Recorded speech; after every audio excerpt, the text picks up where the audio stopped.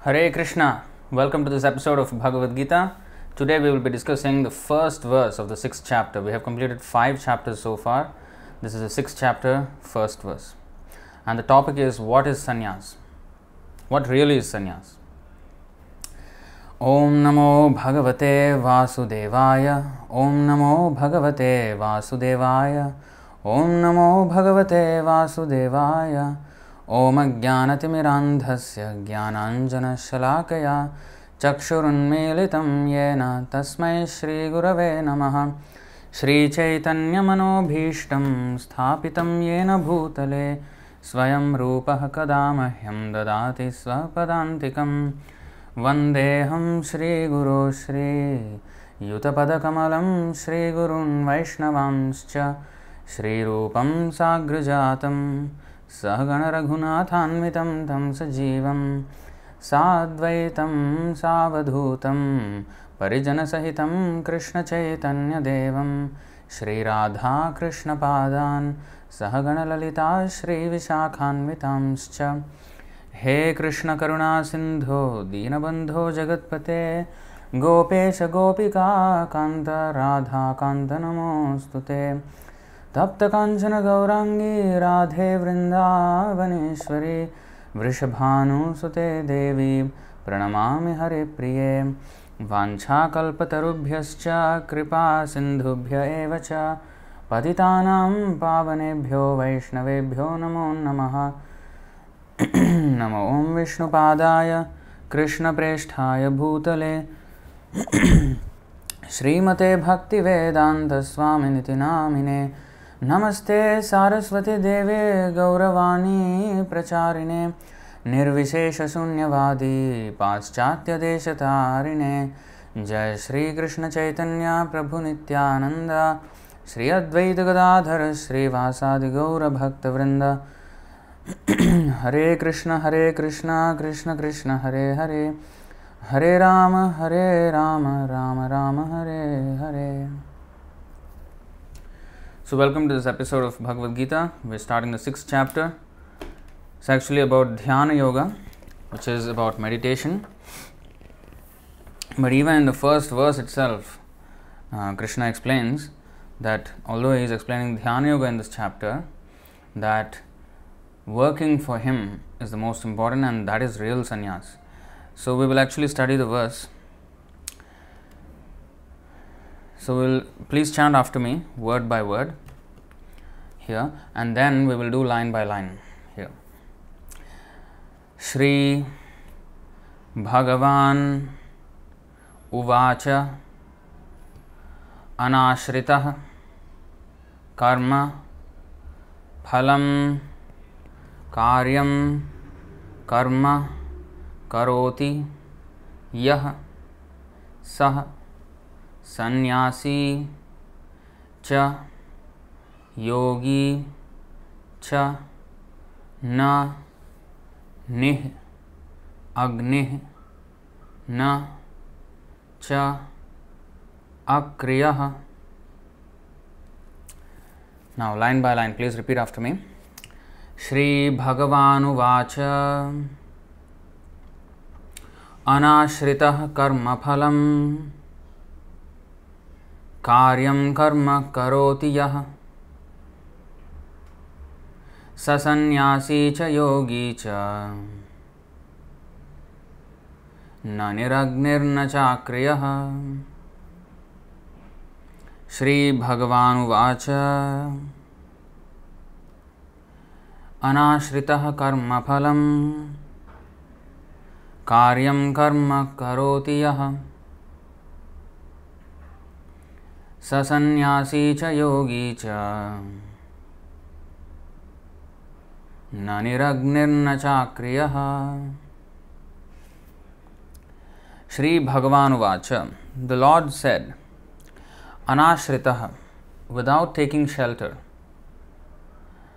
कर्म फलम of the result of work कार्यम ऑब्लिगेटरी कर्म वर्क करोति performs yah one who, sah he, sannyasi in the renounced order, cha also, yogi, mystic, cha, also, na, not, nih, without, agni, fire, na, nor, cha, also, akriyaha, without duty. Translation and purport by His Divine Grace A.C. Bhaktivedanta Swami Srila Prabhupada Ki Jai. Translation The Supreme Personality of Godhead said, One who is unattached to the fruits of his work and who works as he is obligated is in the renounced order of life, and he is the true mystic, nor, not he who lights no fire and performs no duty. In the original one, he says, performs no work. and they say, there it is said, the blessed Lord said. That is, I think, from the. I don't know how far it is from Srila Prabhupada. Because Lord, no need to be blessed. so, the Supreme Personality, Bhagavan, means one who is the master of the six opulences. And Bhagyavan is one who is blessed by those six opulences and who is fortunate. Fortunate is a person who is blessed by fortune. But the Lord blesses the fortune.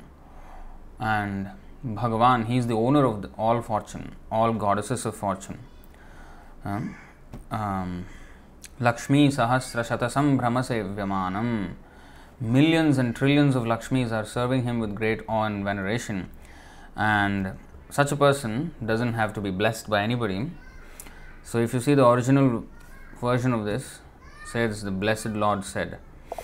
Um, therefore, it was changed to the Supreme Personality of Godhead. But here, performs no duty, whereas in the original, performs no work. Actually, akriya means one who does not do any work. Mm-hmm. So, purport. Now, this may be a little bit confusing if you are not used to reading Srila Prabhupada's books or if you are new to reading Srila Prabhupada's books. Um, this verse, one who is unattached to the fruits of his work and who works as he is obligated is in the renounced order of life, and he is the true mystic, not he who lights no fire and performs no duty. So, we'll try to explain that. First, we will read the purport. In this chapter, the Lord explains that the process of Eightfold Yoga system is a means to control the mind and the senses. However, this is very difficult for people in general to perform, especially in the age of Kali. Although the Eightfold Yoga system is recommended in this chapter, the Lord emphasizes that the process of Karma Yoga or acting in Krishna consciousness is better. Everyone acts in this world to maintain his family and their paraphernalia, but not but no one is working without some self-interest, some personal gratification, be it concentrated or extended. So, what is concentrated personal gratification and extended personal gratification? So, concentrated means my um, sense gratification and extended sense gratification means still in the platform of mine, but uh, my family. Oh, I sacrifice my time, um, I work hard for my family. So, that is, that sounds like a sacrifice, but actually it's extended sense gratification. Because we have just extended, because the family is related to my body, uh, that's why I work hard for my family. So, in this way, we may extend to even a greater domain, maybe my community or my race or my color. Like a few months ago, there was this Black Lives Matter movement. So, for all blacks, black skinned people. But these are all just extensions of the body only, bodily identification, or my country. Uh, that is also bodily identification. Because my body has been has taken birth in a particular country, um, like a soldier, for example, he is greatly revered. Oh, they sacrifice their lives for, for their countries. But they sacrifice their lives for only their countries, and but they kill the people of the other country. Of course, sometimes that's necessary. Um, that violence is also necessary. There are certain um, situations where such thing is necessary. um, the exact word in Sanskrit is um, what is that? Aggressor. If you see in the first chapter, I forgot the first word. Atatai, that is the word. Atatai means aggressor. हत्वैतान् आततायिनः तस्मान्नार्हा वयं हन्तुं धार्तराष्ट्रान् सबान्धवान् स्वजनं हि कथं हत्वा सुखिनः स्याम Madhav आततायिनः. So according to Manu Samhita, it is said, according to Vedic injunctions, there are six kinds of aggressors. One, a poison giver. Two, one who sets fire to the house. 3. One who attacks with deadly weapons. 4. One who plunders riches. 5. One who occupies another's land. And 6. One who kidnaps a wife. So, when these six kind of aggressors, aggressors are there, see it is said, such aggressors are at once to be killed, and no sin is incurred in such killing in by killing such aggressors.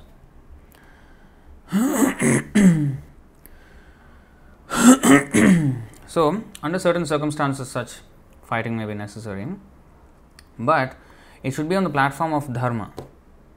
Uh, so, anyway, that's another topic altogether.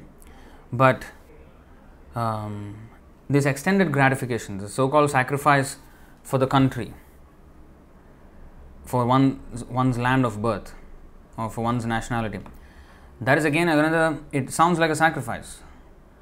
Sacrificing our personal concentrated gratification for extended gratification so that my countrymen can be happy why not all living entities? Our Vedic um, mission is that Sarve Jana Sukhino Bhavantu. Uh, all living entities must be happy. Sarve Jana. Jana means Jana means everybody, not just humans. In fact, uh, Praja, in Sanskrit, the word Praja, any Indian language, Praja means a person. Ja, ja stands for Janma. So, one who has taken birth. Praja means one who has taken birth in this land. And that includes even the animals that took birth in that land, the plants that take birth in that land, everybody.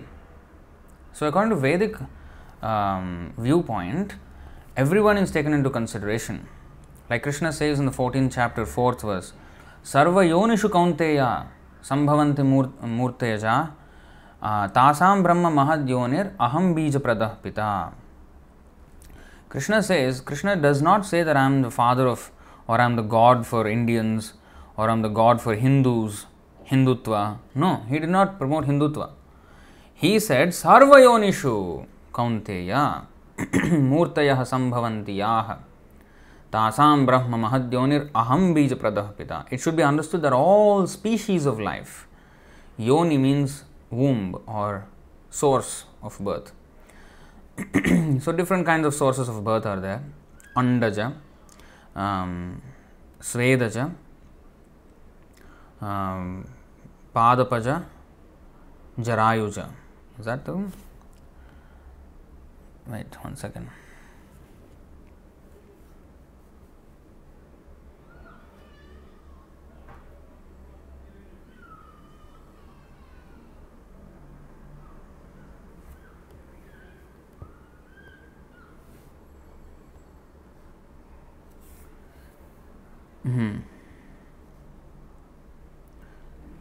चतुर्विधम पुरम आत्मा शकेन।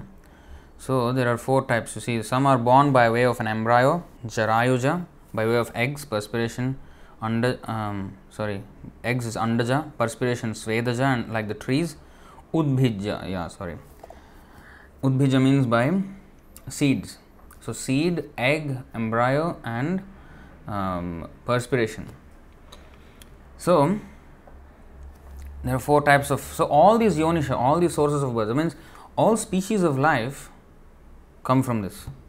In fact, if you see in the higher species of life, like for example, uh, Narad Muni was the Manasika Putra of Brahma. He came from the mind of Brahma.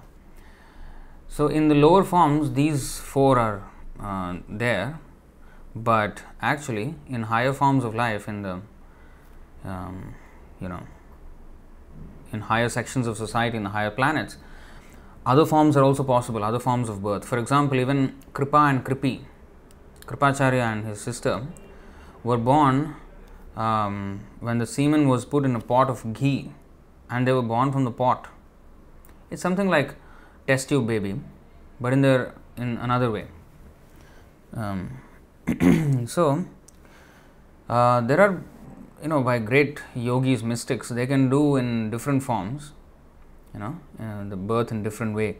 And um, for example even karna in mahabharat he he was born from the ear of um, kunti devi not from her um, genitals because her um, uh, virginity was kept intact that way. So these are these kind of extraordinary things are done by great mystics.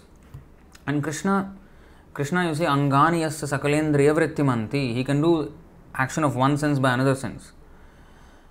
Now in the higher realms of life in the demigods and even higher higher than svargaloka siddhaloka brahmaloka they can do far uh, ex- far more extraordinary things than we can imagine.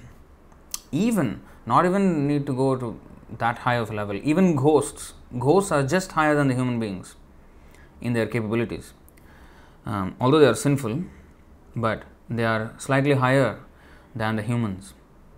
And even the ghosts can do things which normal humans cannot do. Mhm. So, um, for for normal humans, such things would be impossible, but ghosts can do that. And ghosts are just very low level beings compared to the Gandharvas, the Charanas, the Siddhas, the Asuras, the Devas, and then even higher, the mm, sons of Brahma, like the Prajapatis, and of course, uh, finally Lord Brahma himself and Lord Shiva. I mean, we can't imagine. So, Krishna, of course, Angani yasa sakalendriya vrittimanti. But in a limited way, the yogis also can do certain wonderful things. Hmm. So, anyway, that's a bit of a digression, but I mean, we, we need to understand that Krishna, he says, Sarvayonishu Kaunteya, Aham Bija Pradah Pita. I am the father of all species of life. Hmm. So, he is talking on universal terms, not only on this planet. He is talking of all the material and spiritual worlds. And of course, uh, yoni, the source of birth, is also in, only in the material world because in the spiritual world there is no birth. Nobody takes birth, nobody dies there. Um, but in this material world, everybody takes birth and dies. I mean, the soul does not, but accepts different bodies. So, of all kinds of bodies, all species, he is the father. So, anything else than this conception of Ishavasam idam sarvam yat kincha jagatyam jagat, anything other than this conception of complete ownership of the Lord, this universal oneness uh, under the protection of the Lord is a distortion of uh, distorted perception of things. So, however much we may, people of this world may give weightage to such sacrifices. Oh, he has sacrificed his life for his, like for example, I think the Black Lives Matter movement started when a particular, um, you know, man was, um, you know, he kind of, I mean, he was tortured and you know he was um, killed by a policeman, and they considered his life as a sacrifice for the black community. Um, so, I mean, people may glorify such things or somebody dying for his country. Of course, that is very emotional. In fact, for many people, that is very emotional, um, especially patriot, patriotists. In fact, recently, one of the classes, one gentleman was asking me about um, something about patriotism. And I told him that according to Shastra, patriotism is considered animalistic uh, consciousness. Um, this is confirmed in the 10th canto, 84th chapter, 13th verse of Srimad Bhagavatam. That patriotism, Bhaumajyati means one who worships the land of his birth, is as good as an ass. I mean, how much value, how much emotion people have for their countries and for the soldiers who give the life for their country. But such patriotic feelings are considered, you see, one who thinks the land of his birth is worshipable. See, such a person is no better than a cow or an ass. Saeva Gokharaha. Khara means as, go means cow. So he is as good as an animal if he is patriotic. So we have to be, uh, if because the problem is, if I'm patriotic towards my own country, I will be against another country. So there, when I have affection for something intensely, I will have hatred for the other intensely also. It's actually two sides of the same coin, right? So um, that's why it is it is um, not promoted in the Vedic culture at all. Our thing is to give up this ichha dvesha samuthena dvandva mohena bharata. See, in the seventh chapter, Krishna says Ichha and Dvesha, these two things are going on. See, इच्छाद्वेष समुत्थेन द्वंद्वमोहेन Bharat सर्वभूतानि सम्मोहम सर्गे यान्ति परंतप ओ Sion of Bharat O conqueror of the foe, all living entities are born into delusion, bewildered by dualities arising from desire and hate. you see? ichha and dvesha. So, if I am too, if I have too much ichha for my own country, I will have dvesha for another country. Uh, so, we have to be united. The principle or the platform of unity is only achievable if we accept Krishna as the, uh, as we have seen in the last chapter, the last verse, the previous session of Bhagavad Gita, 5.29 the peace formula is only achieved if we accept Krishna as the owner and friend of everybody and he is the master of all sacrifices. So, if we do any sacrifice, we have to do for his satisfaction. Otherwise, we are just, um, you know, karma bandhana. We are in this karma bandha cycle. Even if we do for our country, even if we do for our whatever it is. People in this world may say, oh, he has attained heaven. They may feel good saying that, but According to Shastra, it's not validated.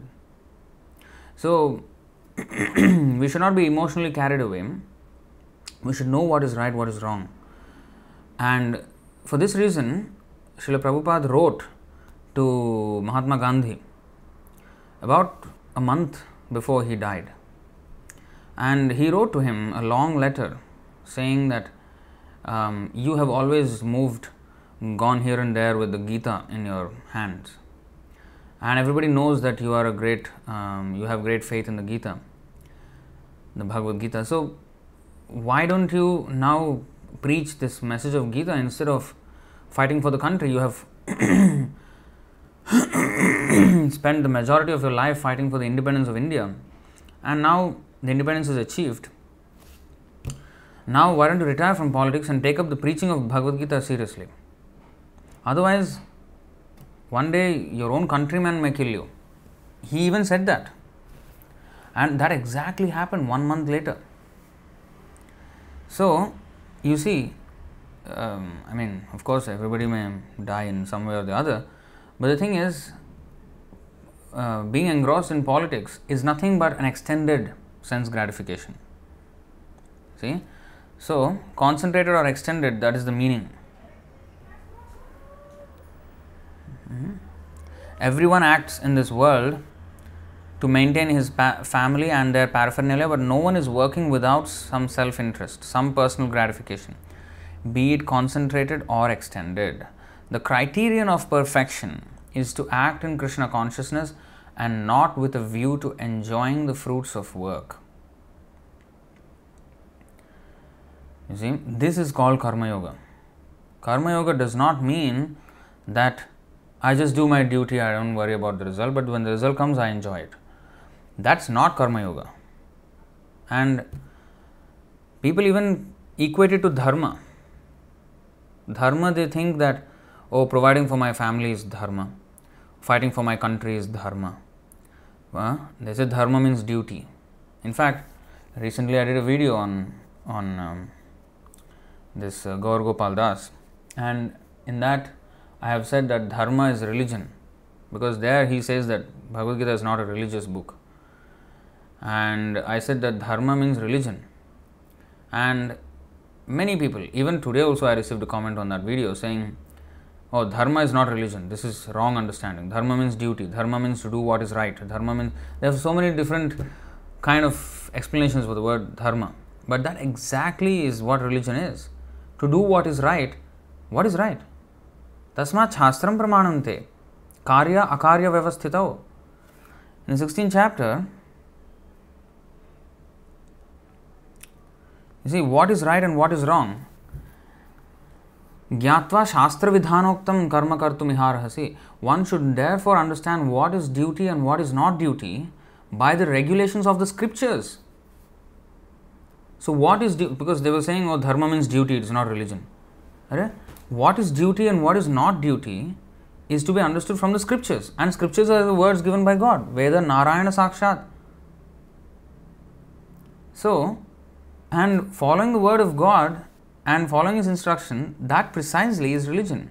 In fact, religion word the religion the word religion comes from it its Latin origin, which is uh, religare. I think that's how it's pronounced, which means to rebind. Rebind. Now we have that's exactly what yoga is. Yoga means to connect back with God. Viyoga. Now we are in the state of viyoga, disconnection from God, and yoga means to connect back with God. So that rebind. That is exactly what religion is. So dharma or what to do and what not to do and what is duty and what is not duty. Shastra, Jnatva Shastra Vidhanoktam. We have to learn from the Shastra. You see? So, knowing such rules and regulations, one should act so that he may gradually be elevated. So, dharma is religion. Dharmam tu sakshat bhagavat pranitam. Because sometimes people say, oh, um, a cricketer's dharma is to fight for his country or play for his country. Dharma is not something you can manufacture at home or manufacture in a, in a, in a, what is that, cricket control board or something like that. No, it is not like that. We cannot, dharma is not a whimsical thing. Just like anything is not whimsical. I cannot come up with some engineering principles on my own. They have, everything has to have a standard process. Hmm. And even, for example, a doctor, he just can't do anything and everything. There is process for doing every single thing. So, um, so even in the, in the matter of spiritual life, there is process. There is process. One cannot just do anything and everything and call it dharma. It's not a flexible word. It's not a flexible one. Nothing is uh, flexible here. Everything is very rigid, and it has to be rigid. Hmm. When it when we make it flexible, uh, then see the consequence will be different. So attachment and duty, these two things are always confused. They take attachment to be duty. You know, they're attached to their dog, so they say uh, taking care of my dog is um, my duty. They're attached to my, their family, they say um, um, taking care of the family or providing for the family is my duty.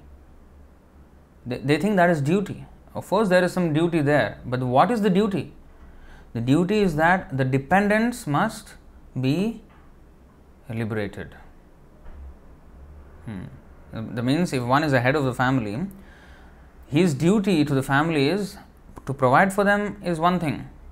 Even if he dies, because many times the breadwinner of the family dies, but the family still goes on. The providing for the family will go on either way. But of course, as long as he's there, he should provide. That is also part of the duty, material duty. But the more important duty is that he has to elevate them spiritually. Otherwise, he should not accept even that position. That is also confirmed in Bhagavatam, 5th canto, 5th chapter, 18th verse. So, sasyad, jananina sasyad. Hmm. Namo chayadya samapeta mrityum. So, these things are there. So, we should know what is duty and what is not duty. We just can't make something up and say that is my duty now. Uh.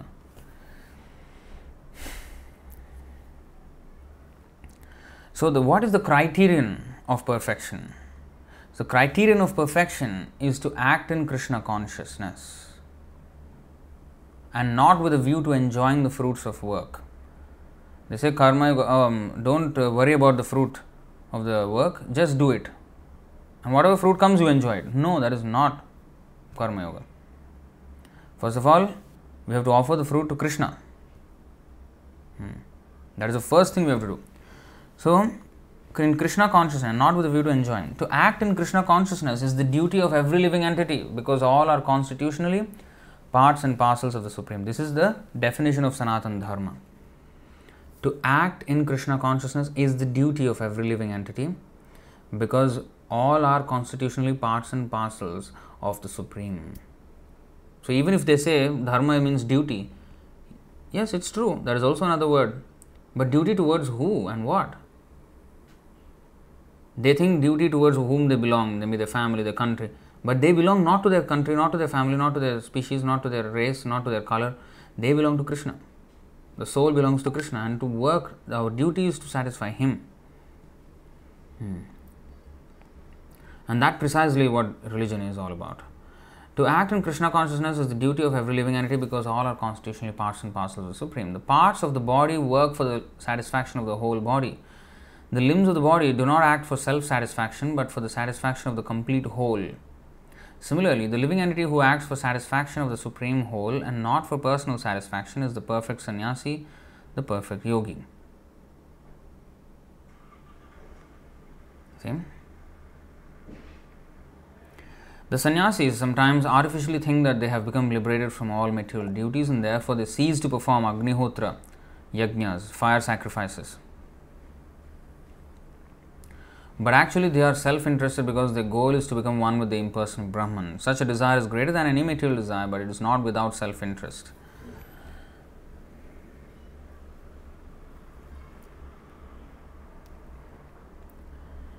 Similarly, the mystic yogi who practices the yoga system with half open eyes, seizing all material activities, desires some satisfaction for his personal self. But a person acting in Krishna consciousness works for the satisfaction of the whole without self interest. A Krishna conscious person has no desire for self satisfaction. His criterion of success is the satisfaction of Krishna, and thus he is the perfect sannyasi or perfect yogi. Lord Chaitanya, the highest perfectional symbol of renunciation, prays in this way. न धनं न जनं न सुन्दरीं कवितां वा जगदीश कामये मम जन्मनि जन्मनीश्वरे भवताद्भक्तिरहैतुकी त्वयि O Almighty Lord, I have no desire to accumulate wealth, nor to enjoy beautiful women, nor do I want any number of followers. What I want only is the causeless mercy of your devotional service in my life, birth after birth. This is just the satisfaction of Krishna. There's no personal satisfaction.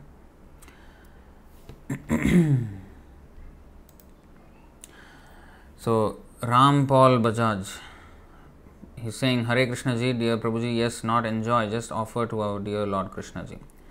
Yes, and offer to Krishna means the fruits of labor offered to Krishna means we can only offer to him what he wants. Like if I if I invite you to my home, um, I have to ask you what do you want to have. So when you say something, uh, my favorite is this, and then if I cook that for you and give, that is the best service. But suppose I am a vegetarian and you invite me to your house and offer me some meat, that is an insult, right? So we can only um, offer to Krishna what he asks us to offer. Patram pushpam phalam yo me bhaktya prayachati tadaham bhaktyupahritam ashnami prayatatmanaha. We have to give him food in the vegetarian category and also including milk, uh, milk products and everything. so this vegan is another wrong idea. See, there is classification of food. In the Western classification is vegan, vegetarian, and um, you know non-vegetarian and all that. Um, and they even have keto, uh, so many, so many kind of diet, so many kinds of classifications of food. But ours is sattvic, rajasic, tamasic, and which is transcendental to all these three is prasadam, Krishna prasadam. Uh, so, in that, there is not exactly vegetarian or non-vegetarian. Like milk is not it classifies is classified as vegetarian, but it's not from any vegetable. It's from a cow. Uh, but even that is sattvic. See, of course, the cow has to be treated nicely. Uh, but even then, uh, somehow or other, if the milk can be offered to Krishna, even that cow was tortured or whatever it is, of course, it is not good, but Kali Yuga, you see, and those cows which are being tortured, they were actually cow killers before, and that's why they are being tortured now and killed in the slaughterhouse. So they are reaping their sinful reactions. But if somehow or other the milk of the cow can go to Krishna, then the cow or the cows who have contributed that milk will also be benefited. So, in every way, prasadam is the most purifying food, and we have to offer to Krishna what he wants. Same. So, in that way, that is food. Then, what about work? Work also we have to offer him the results, right? So, what if I gamble and then I offer to Krishna the money that I earn? That is not proper. Uh, we should not participate directly in sinful react- uh, sinful activities. Hmm. So even such work such work has to be offered to Krishna, but the work also has to be, you know, honest by honest means. Is gambling is considered one of the sinful activities. And if I am a butcher and if I offer the money to Krishna, of course, you know, I can still offer the money to Krishna. But the thing is, I'm committing sinful activity and Krishna is not pleased with that. And eventually, I will not be able to serve. In fact, once um, a gynecologist um, donated some money to Srila Prabhupada, and the disciples told him uh, when he went away that he is a gynecologist. And Prabhupada said, Oh, really? Quickly put the money in the donation box. So that means he did not want to even touch the money of the gynecologist. Why? Because gynecologists they commit a lot of abortions, especially in the Western countries. Nowadays, everywhere. So, very sinful. The money is earned by very sinful means. So, uh, we should offer, we should have an honest occupation and not, of course, we can't be completely disconnected from sinful activities. There is always some fault or other mm, in an occupation. Like, even as I said many times, even if I'm just a software engineer, I'm, I'm just a coder, maybe, you know, write code, writing code. Now, if I work for a bank and I'm writing code, now that sounds like a harmless occupation, but just imagine the implications.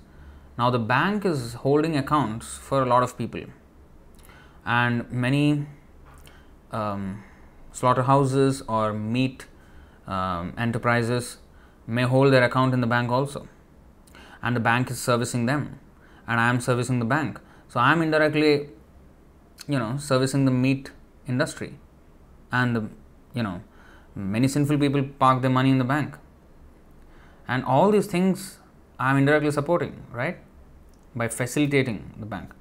So, in honestly, especially in this Kali Yuga, it's very hard to be completely disconnected. But at least directly, we should not be engaged in the sinful activity. For example, if I drive, if I'm, um, you know, a, a, um, what is that? Uh, door delivery, like of Pizza Hut or um, you know this uber eats or mcdonald's. If i work there in the so i'm directly selling meat. Now these should be avoided by devotees or anybody who is trying to advance in spiritual life. Uh, sato vritte. Sato vritte means we have to uh, choose an occupation which is not directly related with um, sinful activities. Or if i'm a chef oh my i'm a chef prabhu. I work in this restaurant i have to you know cook meat. That's not I mean, if you get out from that occupation, find some other occupation, but don't do that in the same um, in that you know. Don't don't do that work and then offer the thing to Krishna. Now, Dhiradas has quoted this reference, which I am getting to. 1848. Every endeavor is covered by some sort of fault, just as fire is covered by smoke. Therefore, one should not give up the work which is born of his nature or son of Kunti, even if such work is full of fault. Yes. So, yes, we have to. So, I was just going to come to that verse. So, they uh, even in Brahmana, even if I am a Brahmana, I have to do Agnihotra sacrifices, for example. And in that sacrifice, I have to, you know, in that fire, some you know insects will be burnt, or even while cooking, some germs will be burnt. You know, I cannot avoid. And sometimes Brahmanas, especially those times Karma Kandiya Brahmanas, they have to sometimes even offer, you know, like a cow or a horse in sacrifice. So these things are there. Of course, they were different from killing a cow and horse. They actually get rejuvenated life in front of everyone, um, which is not possible in Kali Yuga.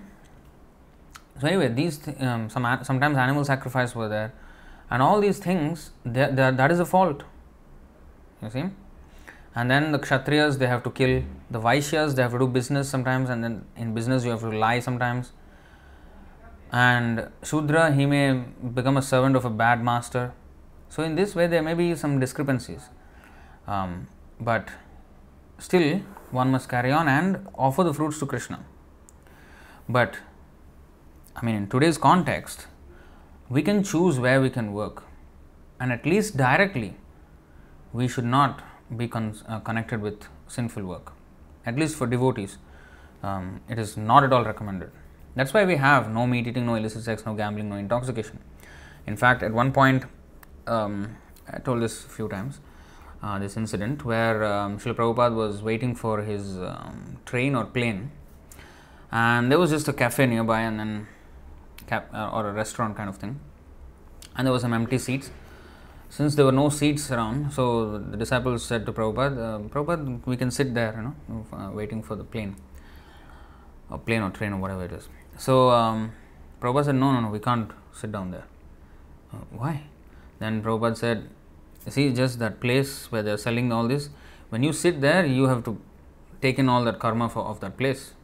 You see, so devo- for devotees, he was so strict. Okay? See, even if anybody who anybody who's wanting to become a devotee, he has to become he has to change his occupation if it is if it is directly connected with sinful activity, um, because it is not good. Hmm? So these things are there. so sannyasi. So offering the results of one's work to Krishna. So now coming back to the verse itself, anashrita karma phalam. So karma phalam, the result of work. Now we all work for some result. If there is no result to be achieved, why would we even endeavor doing something? Right? So there's no point in doing something if there's nothing to be achieved in that in that work. So what is this anashrita karma phalam then? So of course there is always result but that result is not to be enjoyed by us. That is the thing. It is not that I'm working, but I don't know what the result is, I'm just doing. No, it, that is not. Um, in fact, I, when I was teenager, I read a book of Vivekananda. That's the only book I read of Vivekananda. So, in that, he was saying, work for work's sake. Just work for work's sake. And that sentence stuck with me um, but after reading Sri Prabhupada's books, I found that sentence to be meaningless and foolish, in fact. Work for work's sake. What if that work is not meaningful? I may be um, doing the work nicely, but the work itself is not nice. You know what I mean? But, like, um, for example, um, the same thing like Prabhupada was in the car and on the lane beside, devotee was driving Prabhupada and Prabhupada was in the back seat. And on the adjacent lane, there was uh, one car and he was going, and behind him was a, a meat truck. Meat truck. So, frozen food. So, um, he honked. Then the car gave way and this meat truck went and overtook the car. And Prabhupada said that car which gave way to this meat truck, that driver is going to get sinful reaction because the meat is being now delivered faster. So you see how karma is so intricate, so intricate. He just gave way. He didn't do, he didn't do nothing, and he gave way to a meat truck, and he is going to be implicated. You see how stringent the laws of nature are. Uh, so I mean, it's not a child's play. You see? So, the karma is so stringent and we cannot just play with it and do whatever we like. Hmm? Now, anashrita karma phalam. Uh, first of all, I must do work which is uh, honest and as much as possible far away from sinful activity, um, directly, not being directly involved with sinful activity. And the next thing is anashrita karma phalam, that karma phalam, uh, whatever is to be achieved, uh, that has to be offered to Krishna. Now, even um, like that's why we can't just um, engage in sinful activity and offer that to Krishna. That is not also correct.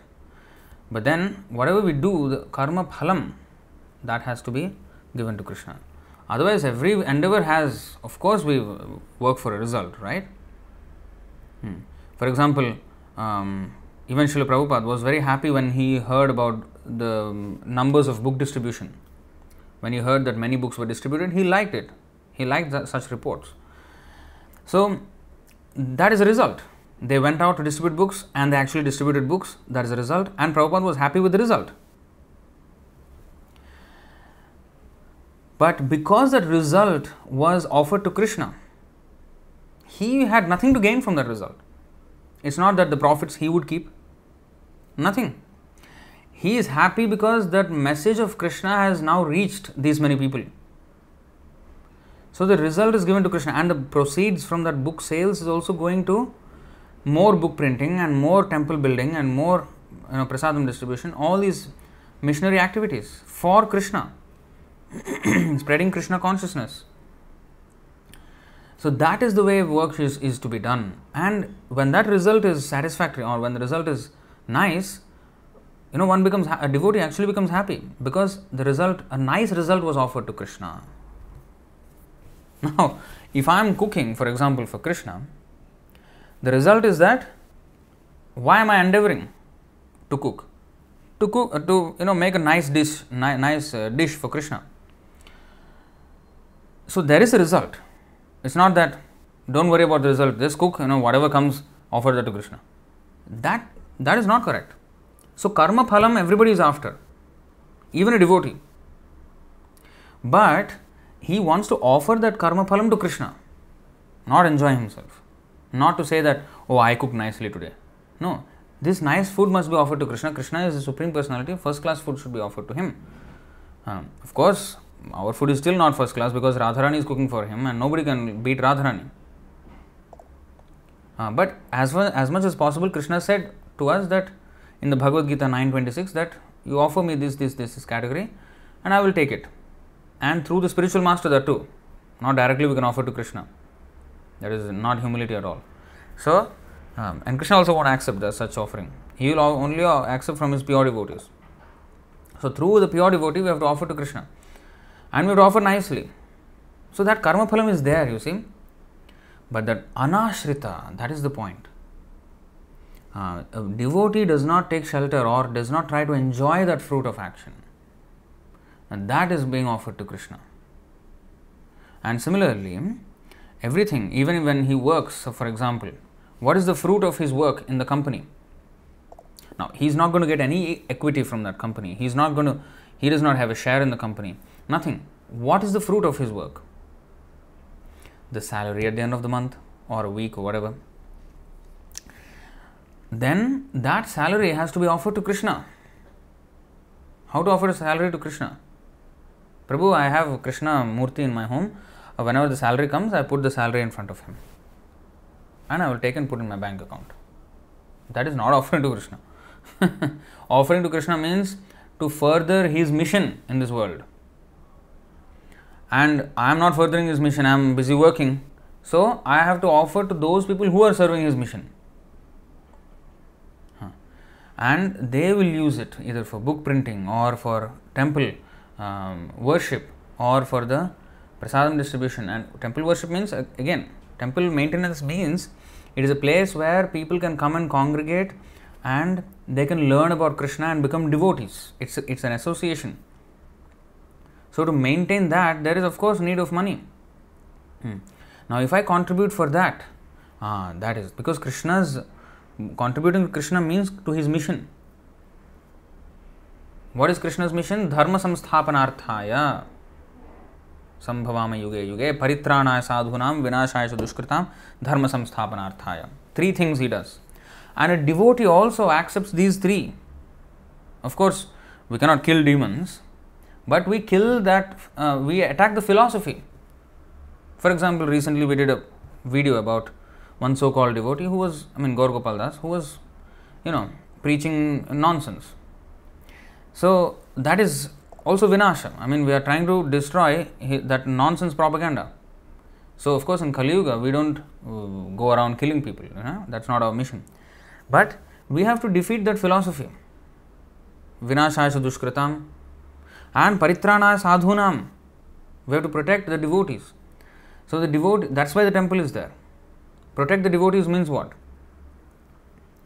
Uh, to offer them the association of devotees because without association of devotees, the devotees are not protected. If they are alone doing their sadhana, it's very difficult. Maya is too strong. One twig is easily to easy to break. Maya will break it easily. But you put a hundred or thousand sticks together, it's very difficult to break. Uh, so if devotees congregate, and then it is very so devotees help one another from falling into Maya, from falling, um, you know, wayward from the track of devotional service. So this is important the association of devotees. So, in the association of devotees, uh, one is protected. So, that is paritrana sadhuna and vinashaya dushkritam. All kinds of nonsense philosophy must be defeated. Srila Prabhupada also attacked the scientific community. He said, you, you are saying theory of evolution. Where is evolution? Where can you show me a monkey turning into a man, giving birth to a man? Never happens. Monkey gives birth always to monkey, and it has been such for millions of years. And man always gives birth to man, and that has also been for millions of years. So, this evolution theory is nonsense. There is an evolution that is the consciousness of the soul. It gradually rises, you know, from all life forms, and finally the soul enters human body. And that is a different thing. But not that the body is morphing into another body. No, so, um, so Prabhupada attacked the scientific community. He attacked um, this so called religion, which is just in the name religion, but they're not following any religious principles. So, he attacked that. So, that has to be done to provide, to, to show the truth. The falsity has to be attacked. Uh, so, that is there. Paritrana sadhunam vinashachuskritam and dharma samsthapanarthaya uh, to establish religious principles in society, to introduce the religious principles. So, when this mission is being served, then Krishna is being served. And um, if such mission is nicely done, uh, uh, uh, any sadhu or any person will become very pleased with, with that uh, karma phalam, that fruit of work. If a nice temple is built for Krishna, Prabhupada will be very happy, right? There is a karma phalam, right? To get a temple. Like he purchased so many properties for temples. And he also uh, printed books and he liked the book sale reports. And all these things, there is, there is always karma phalam. It is not that we will just do and let whatever happen happen. Uh, not like that. Hmm. Of course, by Krishna's mercy it will happen. So we have to pray for Krishna's mercy and you know so that it happens. And offer that when it happens, offer it to Krishna. Nothing to take from that. No personal gains. Hmm. But of course, one thing is there. Um, when uh, Prabhupada's disciples said, Prabhupada, we have distributed thousands of books, but we have only a few devotees coming to the temple. Why? Why? This is quite frustrating. Prabhupada said, That is not your business. Your business is to distribute the books. And whether they come or not, that is between them and Krishna. And they may not immediately come, they may come after some time, or the book may be purchased by him and then maybe his grandson will read it. Who knows how it will work? Maybe his neighbor will read it. Maybe he will give away to someone. Maybe he'll put in the library and somebody else may pick up. We never know how these books they are all they are going to work. Once the book goes out, it will work. Definitely, it will work. It's either it's only time. It's either that soul or another soul or whoever it is, it will act. Uh, so that is beyond our control. So, what we can do, we have to do to the best of our ability and offer it to Krishna. That is called anashrita karma phalam. Hmm. It's not that, uh, you know, Krishna consciousness, we don't worry about the result, so just do haphazard work and then, no, it has to be done with full attention, full uh, best work should be done, and that should be offered to Krishna. Karyam kar- karma karoti yaha. Karyam means obligatory work. One who performs uh, as is obligated. So, what is our obligation? Uh, of course, there is Brahmana, Kshatriya, Vaishya, Shudra, but especially in this Kali Yuga, everybody is practically Shudra. So, our obligation is what Chaitanya Mahaprabhu has given us. What Chaitanya Mahaprabhu has given us. Yare dekha tare Krishna upadesh amar agnya guru haya tarai desh. First of all, he said, "Of okay, first of all, you chant. Uh, and then you learn about Krishna and then speak to everyone about Krishna. Preach. Wherever you are, whatever you are doing. That is quite simple to do we don't have to change much स्थाने स्थिता श्रुतिकथाम तनुवान मनोभिर so we have to dedicate our life tanu vak manobhir to, the, to those narrations of krishna as heard from the pure devotees so our words must be glorifying krishna our body must be to serve krishna and our mind must be thinking of krishna in this way we can uh, do karyam karma karoti yaha you see? Sa sannyasi cha yogi cha. So he is the real sannyasi. Sannyasi means satnyasi so one who nyasi means a person who gives up or a renunciant. A renunciant who who renounces his sense gratification for the pleasure of the sat. Sat means the absolute truth. He is a sannyasi it doesn't depend on the dress at all, alone. Even if he is a grihastha, if he is only working for Krishna's satisfaction and nothing else, by principle he is a sannyasi. He is a yogi also. Yogi means one who is situated in yoga. And what is yoga? Yoga means connection. Connection. So, what is that connection? Now we are disconnected from God, and to connect back with God is that connection that is talking about. So now we are in a state of viyoga. Mm, viyoga means separation. So in, in mathematics, in Hindi, if you learn in Hindi medium, viyogam, uh, or even in Telugu or any any Indian languages, viyoga means subtraction. Take out this from this. So it is separation. You see, and yoga means addition. So put put them together. That is called yoga. So yoga means to come together again. That is the meaning of the word religion. Religion. Re again means again. Re just like rebound or retract or restart. Re means again. So religion. So uh, legion comes from the ligare, that word, Latin words, and that means again bind rebind.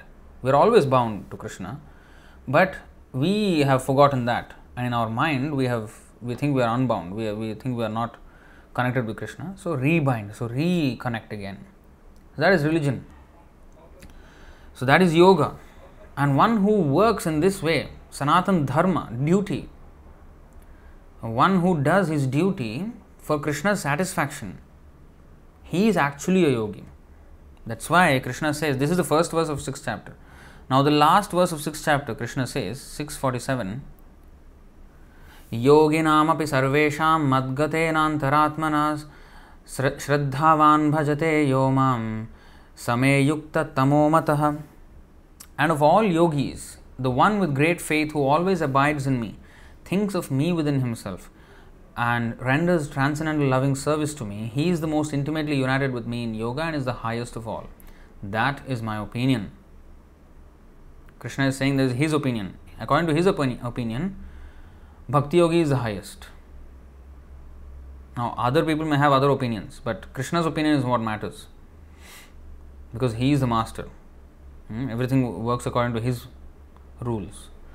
Um, so, his opinion, his when, when I say my opinion, that's not of much weightage. But, but when Krishna says my opinion with a capital M there, that is a law. When the country constitution, what is the constitution basically? It's a it's an opinion of a group of people. They have come to a consensus and they've passed a bill, and now it became a law. And now it will carry the force of the law. And if we violate the law, and we will be punished. So basically, how did that law come about? Some people have put in their opinions and they reached a collective consensus, and that mm, was made into a law. But in Krishna's case, he doesn't need any collective consensus of anybody. He is the lawmaker, and his opinion is law, is the truth, is the fact. Now, my opinion may not be the fact. You see, because I may not know, I may be, my knowledge is not maybe perfect, and I may say something, and that may not be truth. It's my opinion, it's my perception of the truth. You know, but when Krishna's perception or Krishna's opinion, and that is synonymous with truth. Hmm. So that means, in truth, only the real yogi is a bhakti yogi. Because every other yoga will not be perfect without the touch of bhakti. Now, even karma yoga, what is karma yoga? If I am doing some work, that result has to be offered to Krishna. That is actually part of that part is bhakti part. Although I am not fully engaged in all kinds of devotional service, but the result of my karma is offered to Krishna, and that makes it karma yoga because that karma of mine is now connected with Krishna. Therefore, it is karma yoga.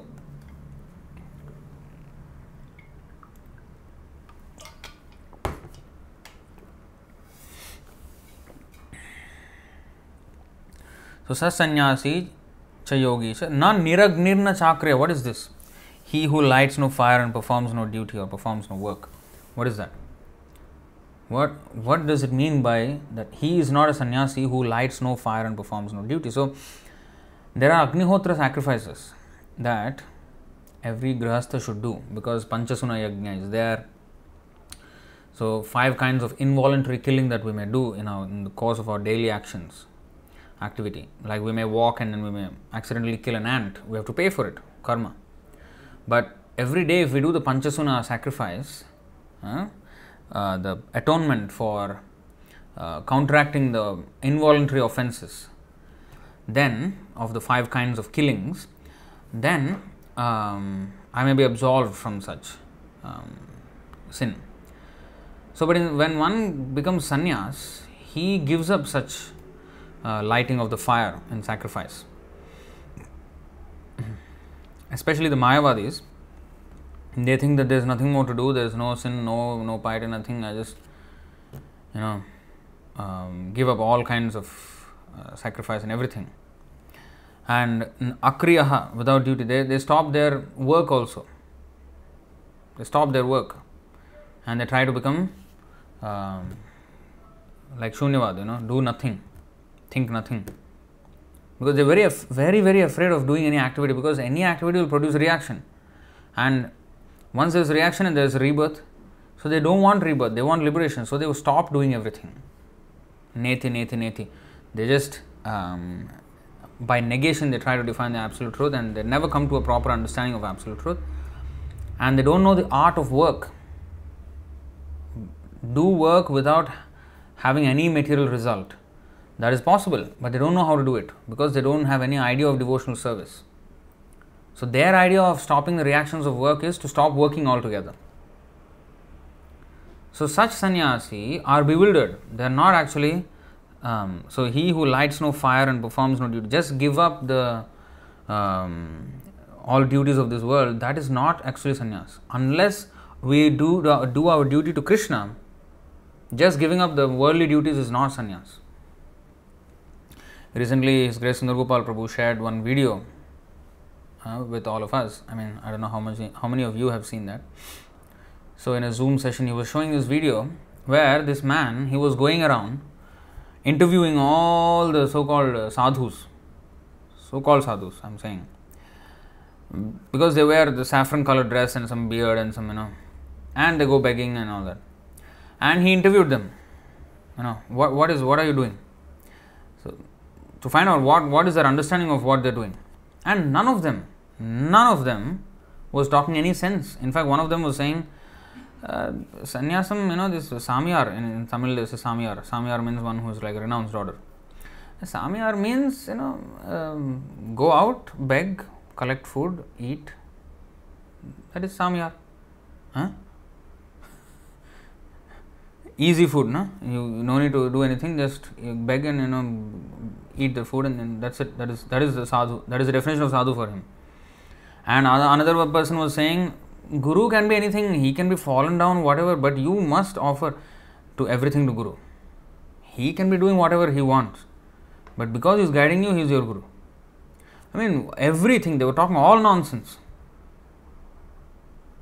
And he's showing in the video, this is the kind of sadhus, so called sadhus, traveling, you know, to this pilgrimage, that pilgrimage, Haridwar, Rishikesh, they are traveling everywhere, just eating food and, you know, smoking some ganja or some bidi, and, you know, that that's all and no understanding of what is actual. So that kind of sannyas is useless, Krishna is saying. He who lights no fire and performs no duty. He one has to work for Krishna actively. He should be sannyas means, especially for our Vaishnava sannyas means he should be preaching Krishna consciousness. Hmm. For preaching sake, Chaitanya Mahaprabhu also took sannyas for preaching sake. And that is Gaudiya Vaishnavas also do that. For preaching sake, sannyas is allowed. But otherwise, even sannyasam is not allowed in Kali Yuga. Because in Kali Yuga, nobody can maintain the principles of sannyas.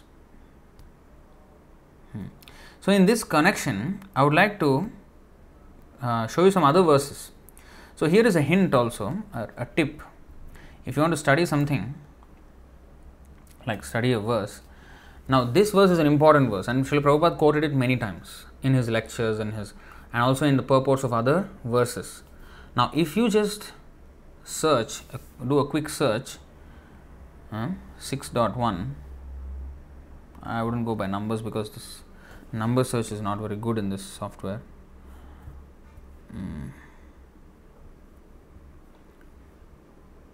See, this is how, this is a small tip on how you can expand on the understanding of that same verse.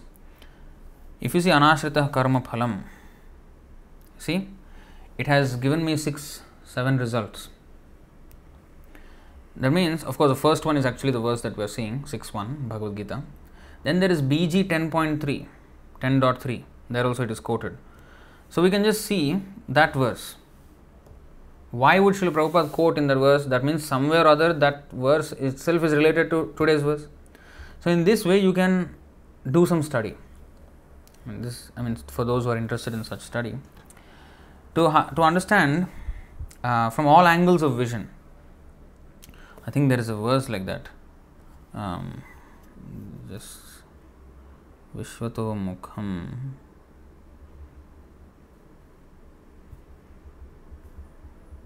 Uh, 428 this one साक्षात् भगवतोक्तेन गुरुणा हरिणा नृप विशुद्ध ज्ञानदीपेन स्फुरता विश्वतोमुखम विश्वतोमुखम from all angles of vision so in this way king Malayadhwaj attained perfect knowledge because in his pure state he was directly instructed by the supreme personality of godhead by means of such enlightening transcendental knowledge he could understand everything from all angles of vision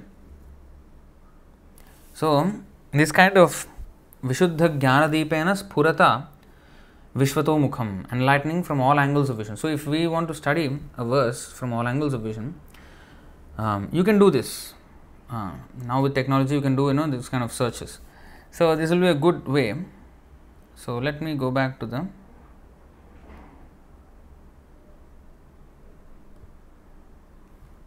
Anashrita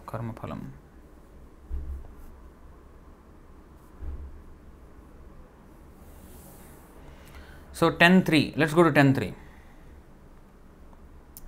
So what does this verse say? Yo mam ajam anadim cha vettiloka maheshwaram asammudha samartyeshu sarva papai pramuchyate. He who knows me as the unborn, as the beginningless, as the supreme lord of all the worlds, he only undiluted among men is freed from all sins. Now, if we go in the purport, of course, a very long purport, I'm not going to read everything. So, here it is said,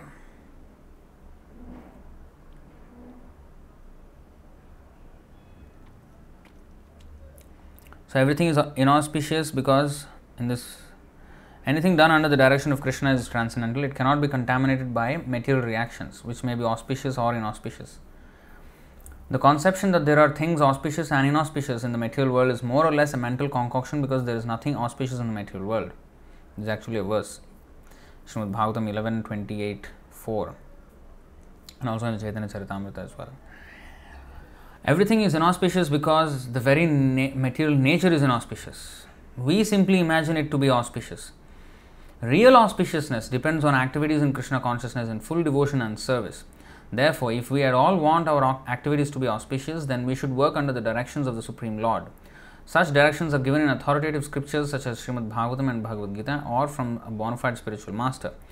Because the, uh, because the spiritual master is a representative of the Supreme Lord, his direction is directly the direction of the Supreme Lord. The spiritual master, saintly persons, and scriptures, Sadhu Shastra Guru, direct in the same way. There is no contradiction in these three sources. In other words, if there is a contradiction, one of them is wrong. Shastra cannot be wrong. A real guru, a pure devotee guru, cannot be wrong. The sadhu, well, if he is not following a pure guru, if he is not adhering to instructions of a pure guru, then he may be wrong.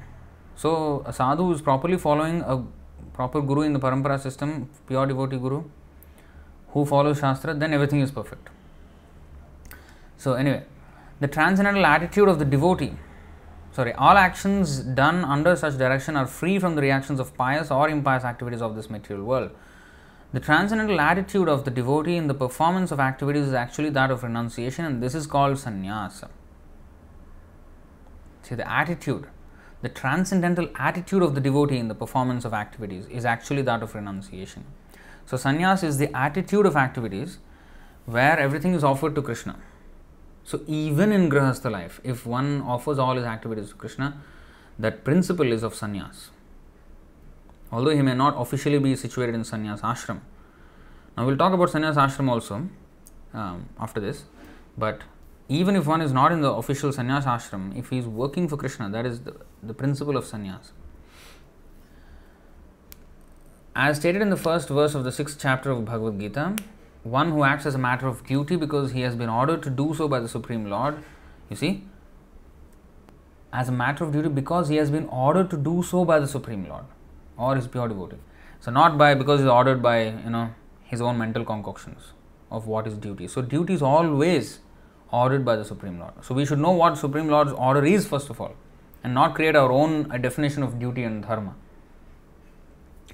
and who does not seek shelter in the fruits of his activities. Anashrita karma phalam is a true renouncer.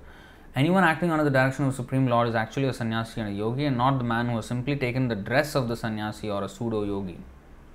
So, this um, not lighting fire and performing no duty is basically accepting the dress but not doing any work of the sannyasi or yogi. They think sannyasi means to give up all work and be a lazy fellow. No, sannyasi is not a lazy fellow, he is the most active fellow. Uh, in fact, he's he is more active. In fact, he gives up the small activity of his family but takes on the activity to benefit the entire world. Lokanam hitakaranau. Like Shri षडो Shadgoswami Ashtaka day before yesterday whoever reading त्यक्त्वा तूर्णमशेषमण्डलपतिं श्रेणी सदा तुच्छवत् भूत्वा दीनगणेशकौ करुणया कौपीनकण्ठाश्रितौ they have become सन्यासीस् they gave up the high post government officer post but they now became mendicants not that they lazy now doing nothing no लोकानां हितकारिणौ भूत्वा दीनगणेशकौ करुणया to shower mercy on all the fallen population of Kali Yuga. So that is the mission of these. Uh, so it is a much greater responsibility than a government officer's responsibility. So uh, he should never be a, a, lazy fellow. That is not sannyas ashram. Hmm. so that is the one one verse. Now let's go to search again. Next one. Uh, this is very important actually. Madhya 3.6. This verse is actually from the Srimad Bhagavatam, 11th canto, 23rd chapter, 57th verse. And this verse was uh, uttered by, of course, the Avanti Brahmana in the Bhagavatam, but it was also uttered by Sri Chaitanya Mahaprabhu the moment he took sannyas from a Mayavadi sannyasi. But the moment he took sannyas, he chanted this verse, and there is a great significance for this verse because he took sannyas from a Mayavadi uh, sannyasi, Keshav Bharati. Now, although he took like that, his understanding of sannyas is not the Mayavadi understanding of sannyas. And Mayavadi understanding of sannyas is to give up all duties. But he chanted this verse, and this is a highlight because here the service to Krishna is highlighted. Now, एतां स आस्थाय परात्मनिष्ठाम् अध्यासितां पूर्वतमैर्महद्भिः अहं तरिष्यामि दुरन्तपारं तमो मुकुन्दाङ्घ्रिनिषेवयैव So this verse he chanted. And in our Gaudiya Vaishnava Sampradaya also, anybody who takes sannyas, Diksha, uh, he chants this verse on that day of taking sannyas Diksha. It is a, it is a um, part of the ceremony. And it's not just part of the ceremony, it is to actually imbibe this meaning of this verse. So here, as a Brahmana from the Avanti Desh said, I shall, I shall cross over the insurmountable ocean of nescience by being firmly fixed in the service of the lotus feet of Krishna. See, this was approved by the previous acharyas who were fixed in firm devotion to the Lord Paramatma, the Supreme Personality of Godhead. You see this? Uh, etam sa asthaya, being completely fixed in Paratmanishtham, devotion to the Supreme Person, Krishna. Adhyasitam, worshipped Purvatamaihi, by previous. See? Supreme Lord who is worshipped by previous Acharyas. Mahadbhi. Uh, Mahatma. See? Aham tarishyami durantaparam tamo, the ocean of nescience, Mukundangri nishevayaiva, Mukundangri, of the lotus feet of Mukunda, uh, by worshipping his lotus feet, by taking shelter of his lotus feet, I, I shall cross cross this insurmountable ocean of nescience. That is the determination of sannyas. Sannyas means I am done with this material way of life. Let me now just take to devotional service with full enthusiasm.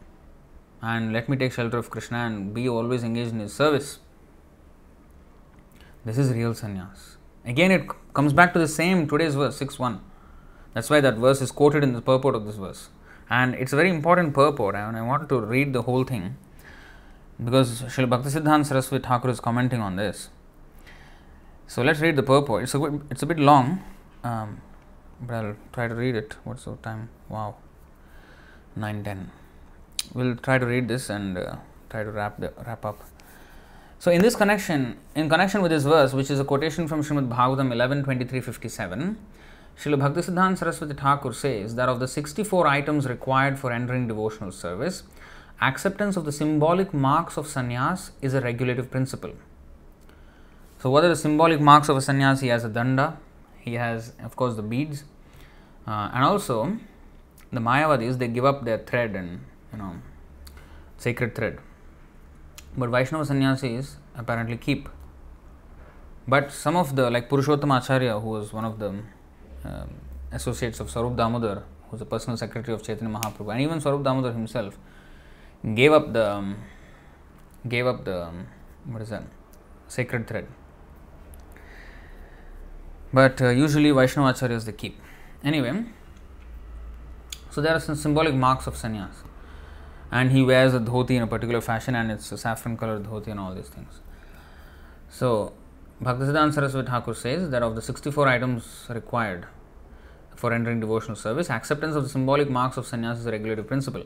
If one accepts the sannyas order, his main business is to devote his life completely to the service of Mukunda, Krishna. If one does not completely devote his mind and body to the service of the Lord, he does not actually become a sannyasi. It is not simply a matter of changing dress. In Bhagavad Gita 6.1, it is also stated anashrita karma phalam karyam karma karoti yaha sasanyasi cha yogi cha one who works devotedly for the satisfaction of Krishna is a sannyasi. the dress is not sannyas, but the attitude of service to Krishna is. So it's again the attitude. The external symbolic representations are also necessary. That only reinforces the attitude again. Now, once, um, many times, a few times actually, some of the Westerners they asked Srila Prabhupada, uh, "Is this dress necessary?" Srila Prabhupada said, "No, it is not necessary," because was, they were asking, "What is all the devotees are wearing the robes? You know, uh, is this necessary?" Prabhupada said, "Not necessary. Uh, you can always chant and you know understand this philosophy without the dress, but when you when you have the dress, then you will your attitude will be that of a devotee." Just like a soldier can fight without his soldier dress. Even in his ordinary dress, he can fight. Why should he wear the uniform of a soldier?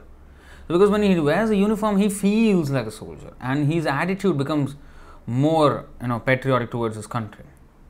So similarly, when I just like if I've, um, I mean, if, if it's a uh, suppose there's a businessman, and to a meeting he will wear like a businessman. Uh, he can wear in uh, shorts and you know like a sportsman and go to the business, but when he wears like a businessman, he feels like a businessman, and when he wears like a sportsman, he feels like a sportsman, and he will do that work. So, um, the dress is actually a device to influence our attitude.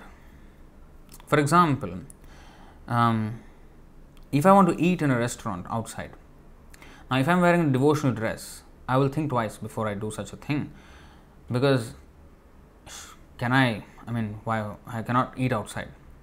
So, the dress is also helping influence our consciousness. So, these are device control measures.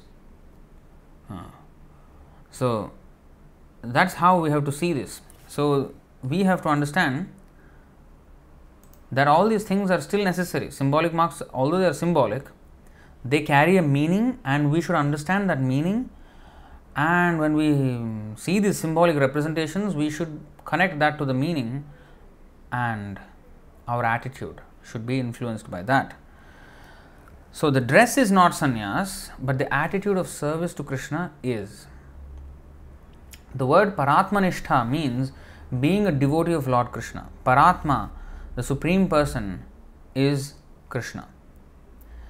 Paramatma or Paratma is the same thing. Ishvara Paramah Krishna Sachidananda Vigraha. Those who are completely dedicated to the lotus feet of Krishna in service are actually sannyasis. As a matter of formality, the devotee accepts the sannyas dress as previous acharyas did. He also accepts the three dandas. Later, Vishnu Swami considered that accepting the dress of a tridandi was Paratmanishtha. Therefore, since the devotees add another danda, the Jiva danda, to the three existing dandas, the Vaishnava sannyasi is known as the Tridandi sannyasi. What is the Tridandi sannyasi? So, in the Vaishnava sannyas, there are three, you know, sannyas has a staff. So, that staff is wrapped in cloth. Actually, there are three staffs inside. And that signify Tanu, Vak, and Manobhir. Three things the body, mind, and words in service to the Absolute. And whose mind, body, and words? That there is a small stick which is the Jivadanda, fourth stick.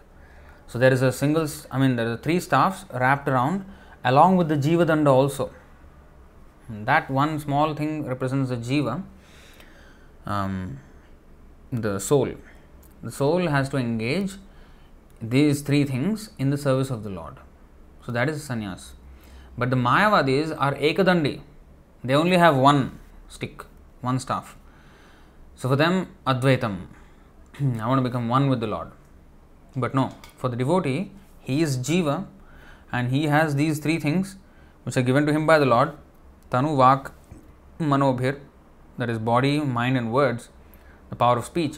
So he he his promise sannyas ashram means his promise that I want to use everything all these things for Krishna's service. I maintain my individuality. I don't merge my individuality inside Krishna. That's why I'm not ekadandi. I'm jivadanda. I'm maintaining my existence, and I'm using all these things in the Krishna's service.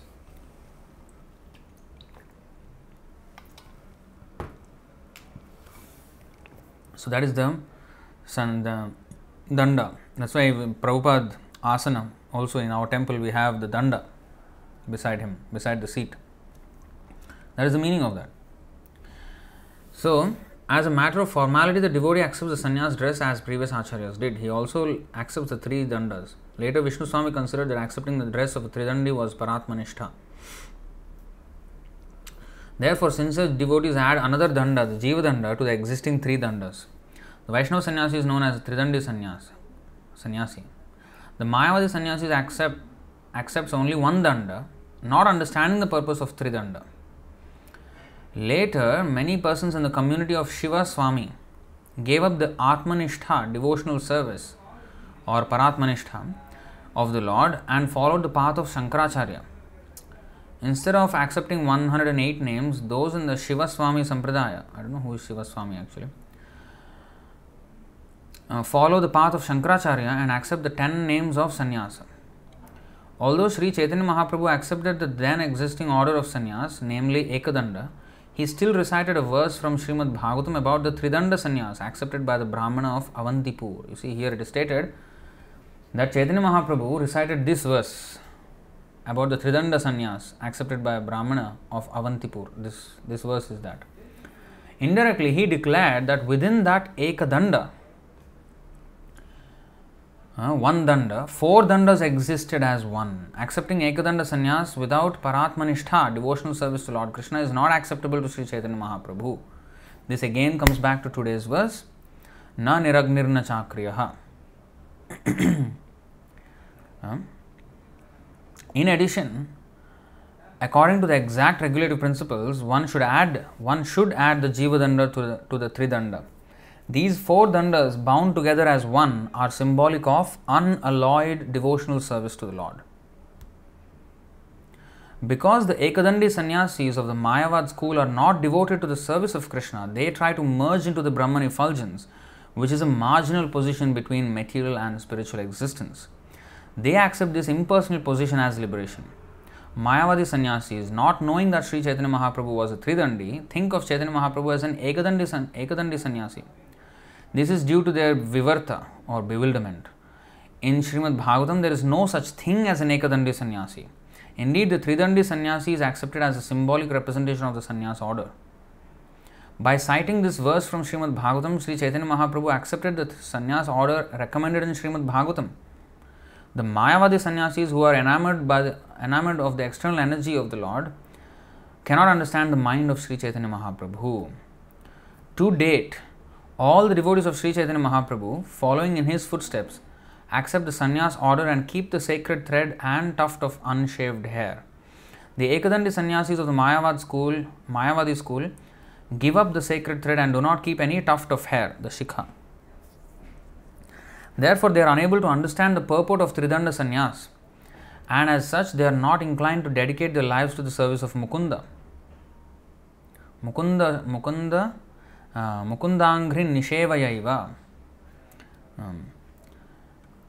they simply think of merging into the existence of Brahman because of their disgust with material existence.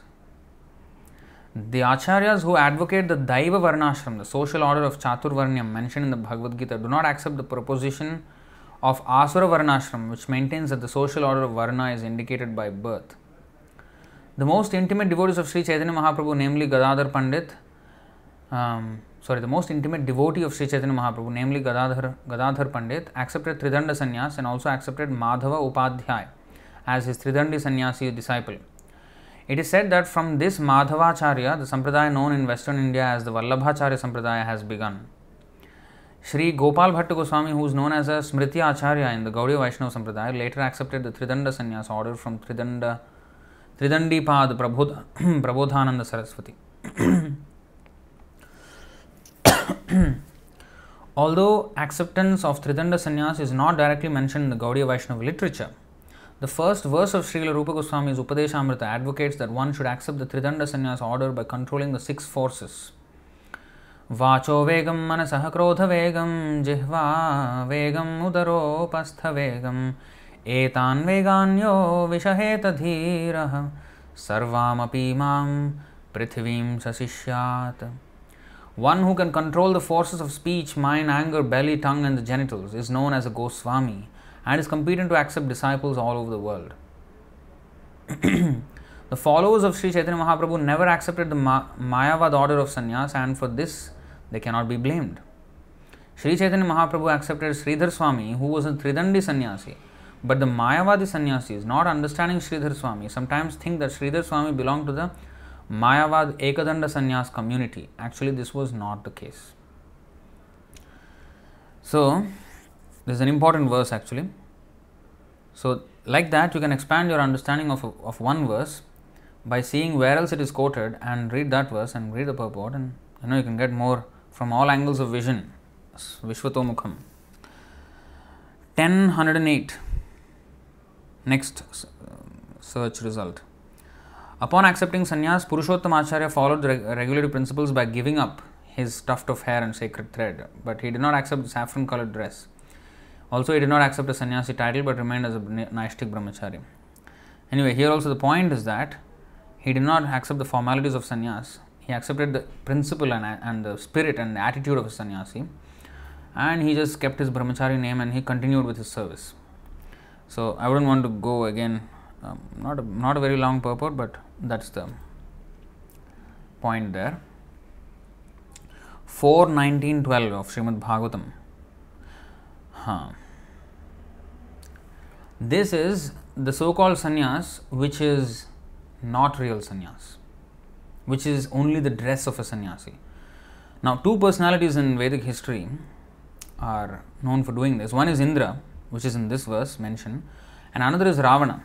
Ravana is another classic example of a nonsense sannyasi because he wore like a sadhu and went to the ashram and you know to kidnap Sita. Ah.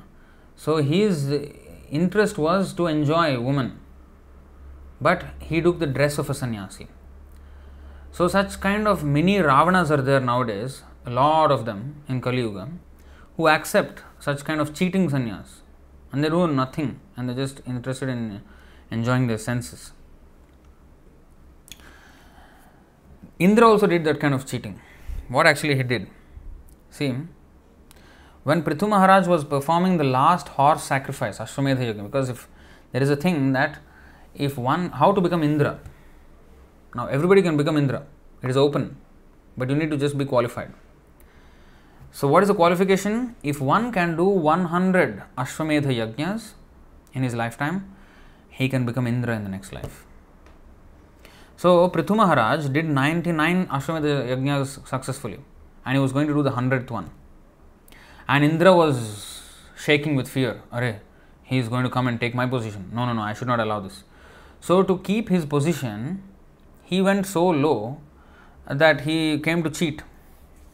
See? So he, when Prithu Maharaj was performing the last horse sacrifice, Ashwamedha Yajna, King Indra, invisible to everyone, stole the horse inten- intended for sacrifice. He did this because of his great envy of King Prithu. So, um,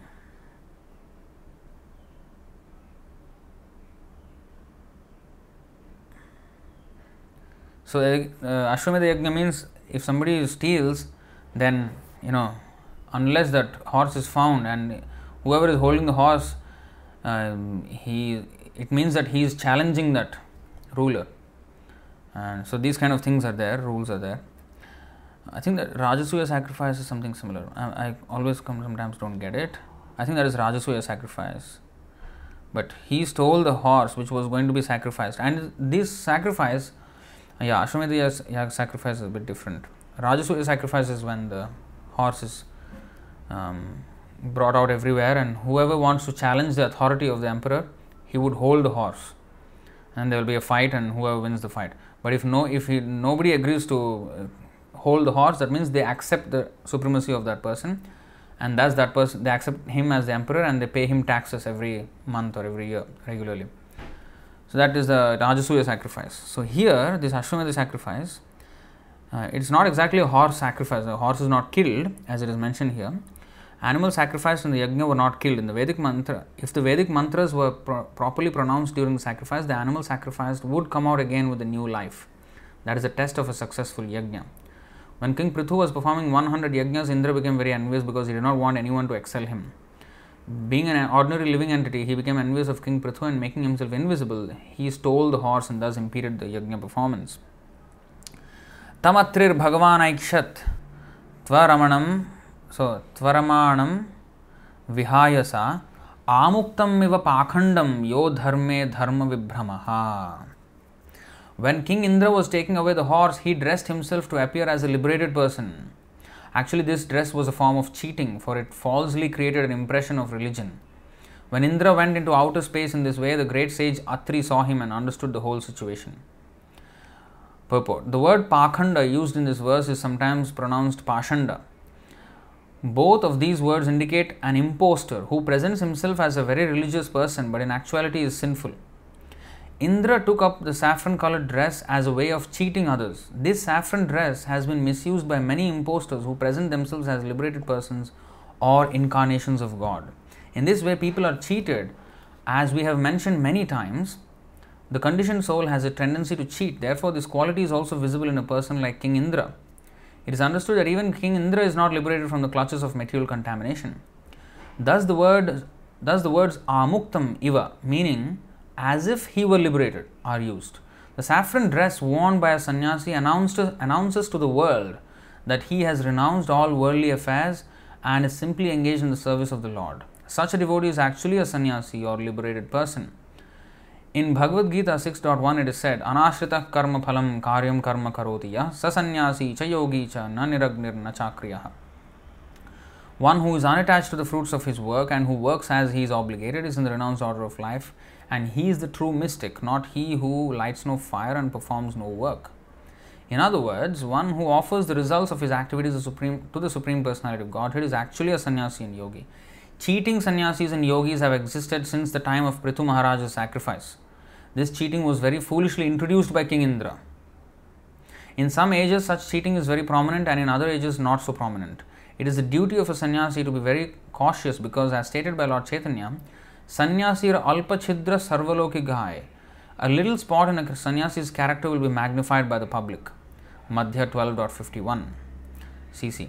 Therefore, unless one is very sincere and serious, one, he should not take up the order of sannyas. One should not use this order as a means to cheat the public.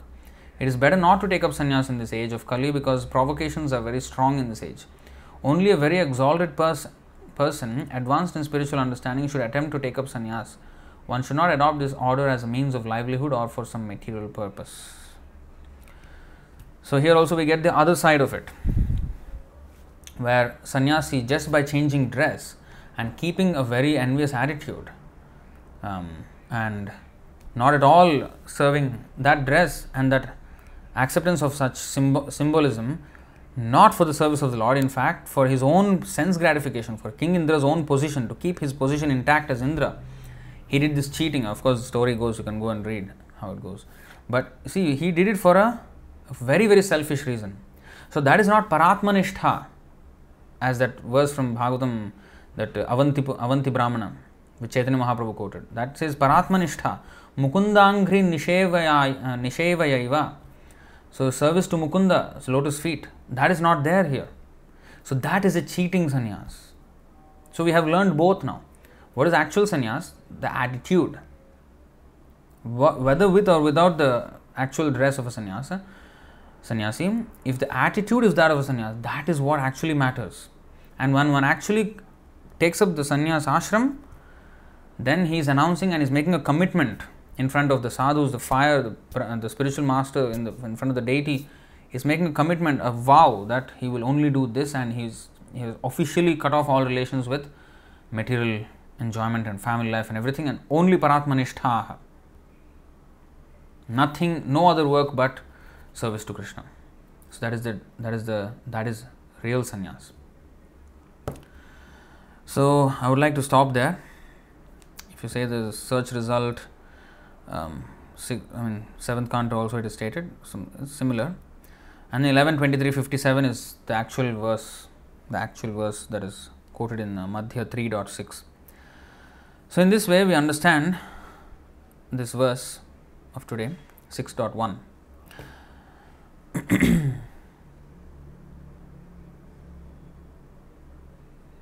so, now I will take any questions that are there. Uh, let's see.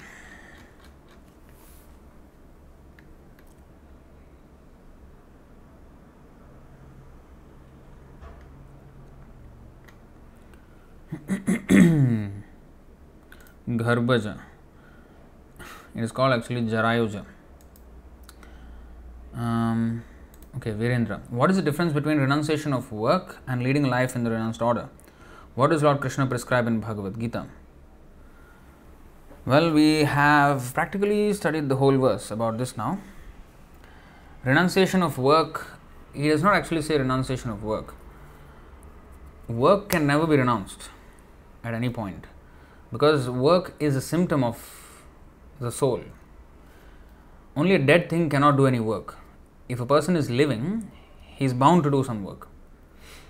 So, the renunciation of the fruit of work, not renunciation of work, uh, not akriyaha, but anashrita karma phalam. So, the first line of the verse is anashrita karma phalam. And the last word of the verse is ash, ak, akriyaha. Means not doing any work. So that is not correct. But anashrita karma phalam is the real uh, this thing, renounced order. And I think we have already learned that now in the verse elaborately. Difference between renunciation of work and leading a life in renounced renounced order. It's basically the same thing. Hmm. But especially in the renounced order, like uh, renunciation of the fruits of work, for a grihastha, for example, 50% of his income has to be given to Krishna, Krishna's service. And that is the standard.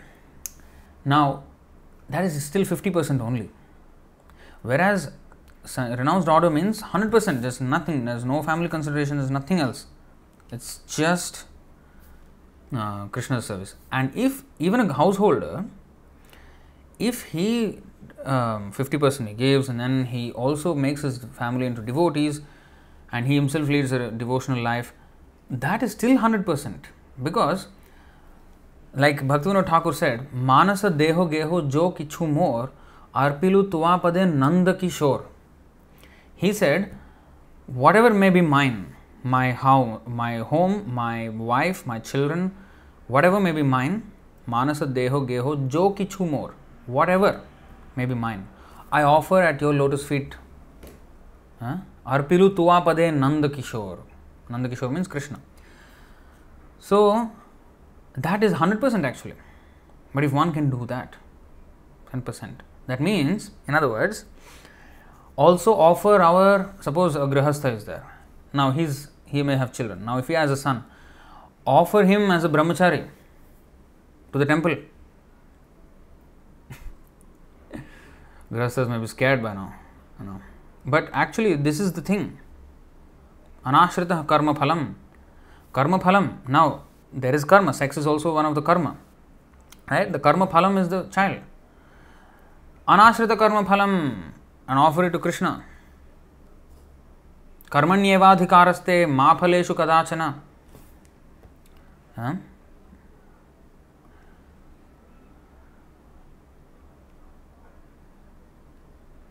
कर्मण्य एव, कर्मणि एव अधिकारस्ते मा फलेषु कदाचन।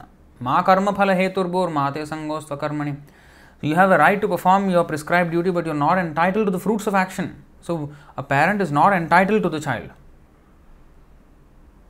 no the child belongs to Krishna and never consider yourself the cause of the results of your activities and never be attached to not doing your duty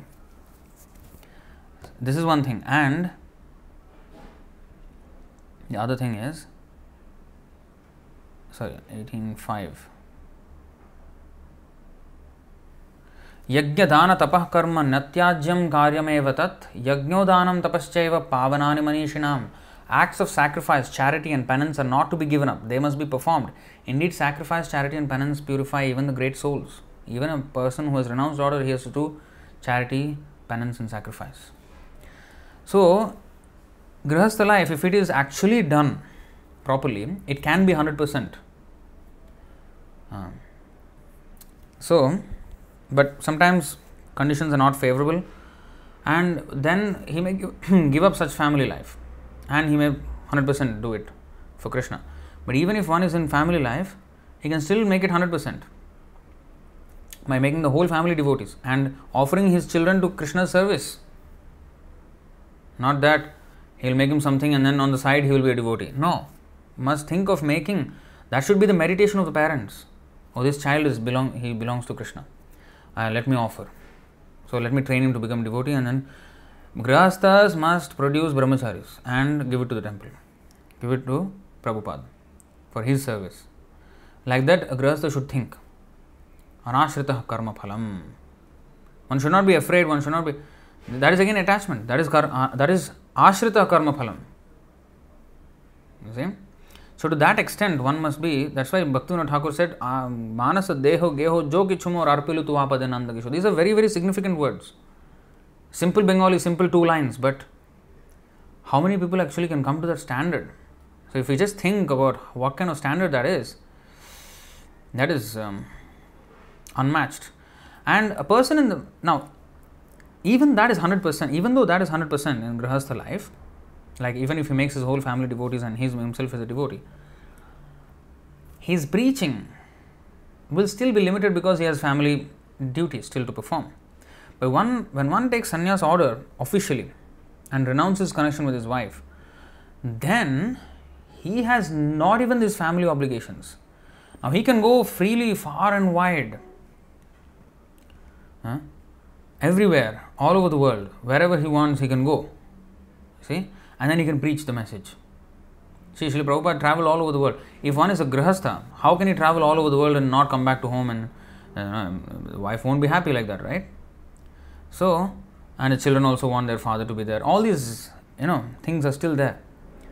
So, although a devotee who is in the family life is still 100, if, if he can do 100%, although that is 100%, but still the sannyas order is even higher because he is not only going to deliver his own family, but he is going to work for the deliverance of millions of other families. See that? Hmm. What does Lord Krishna prescribe in the Bhagavad Gita? Well, whatever we can do to the best of our capacity at the present moment, we have to do. And slowly we have to work our way up. Hmm.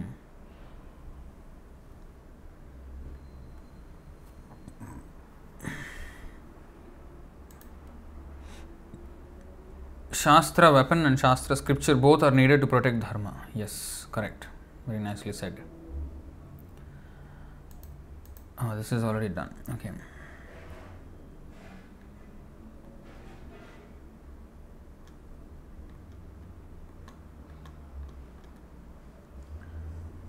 Um, Virendra, does sincere chanting of Hare Krishna Mahamantra by a devotee satisfy the Supreme Lord and is the highest religion and service performed unto Lord Krishna? Yes. Dhiradas, every endeavor is covered. Oh, this we have covered already. Mukesh Narnia. Hare Krishna Prabhuji, what about work in medicine company? Well, what about it?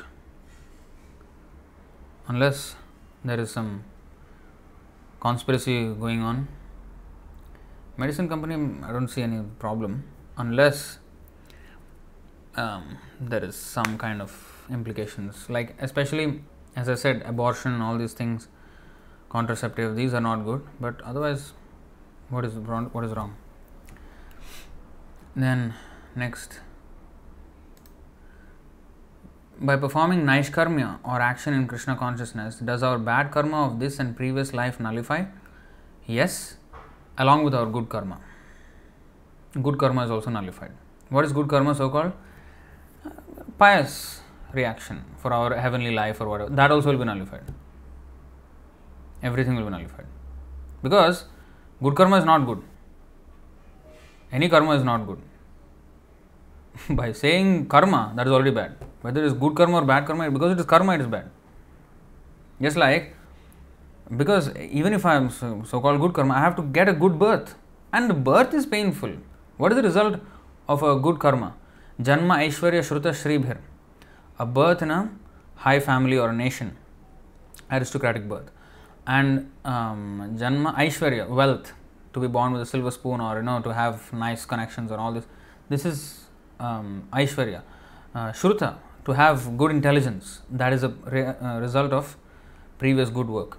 And shribhir to have beautiful bodily features. These four are results of pious work. But how helpful are they in mitigating our miseries of birth, death, old age, and disease. However beautiful or intelligent or rich or however, um, what is the other one? Jan, uh, aristocracy, aristocratic we may be, the pain of birth is the same. The pain of old age is the same. The pain of death is the same, and the pain of disease is the same. Anybody, everybody. So, these pious results don't help us in any way in mitigating our real distresses. So, uh, the um, devotional service rids us of all karma, pious and impious, and we will become naishkarmyam and go back. We can go back. We can be released from this material world only when we have no reactions anymore, no sinful or pious reactions left for us to. Uh, that is only um, possible in devotional service because every other work will bind us. Right? That is verse is there. Bhagavad Gita, chapter 3, text 9. यज्ञार्थात् कर्मणोऽन्यत्र लोकोऽयं कर्मबन्धनः तदर्थं कर्म कौन्तेय मुक्तसङ्गः समाचर Work done as a sacrifice for Vishnu has to be performed. Otherwise, work causes bondage in this material world. Therefore, O son of Kunti, perform your prescribed duties for his satisfaction, and that way you will always remain free from bondage. So, that is the thing. So, what else?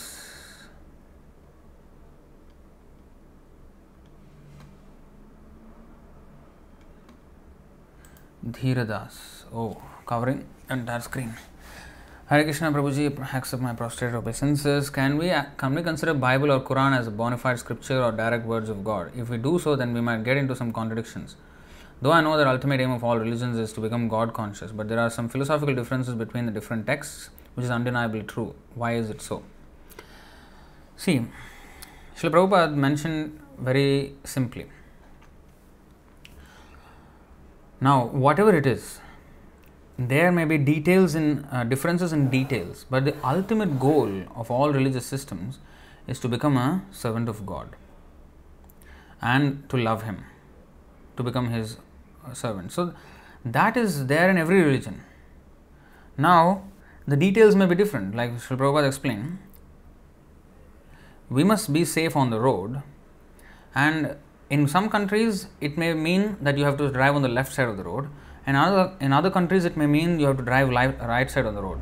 Now, these are two contradictory things. If I follow this rule in this country, like driving right side of the road, on a country where it is to be driven left side of the road, I will get into straight accident. So, or if I do the other way also, I'll get an accident. But if I follow the rule in that particular country, then uh, I will be safe. So, whatever it is, the ultimate point, whether it's right or left or whatever it is, is to follow the road, I mean, traffic rules so that everybody is safe. That is the whole point of, of following these rules. Now, the details is, are different in different countries.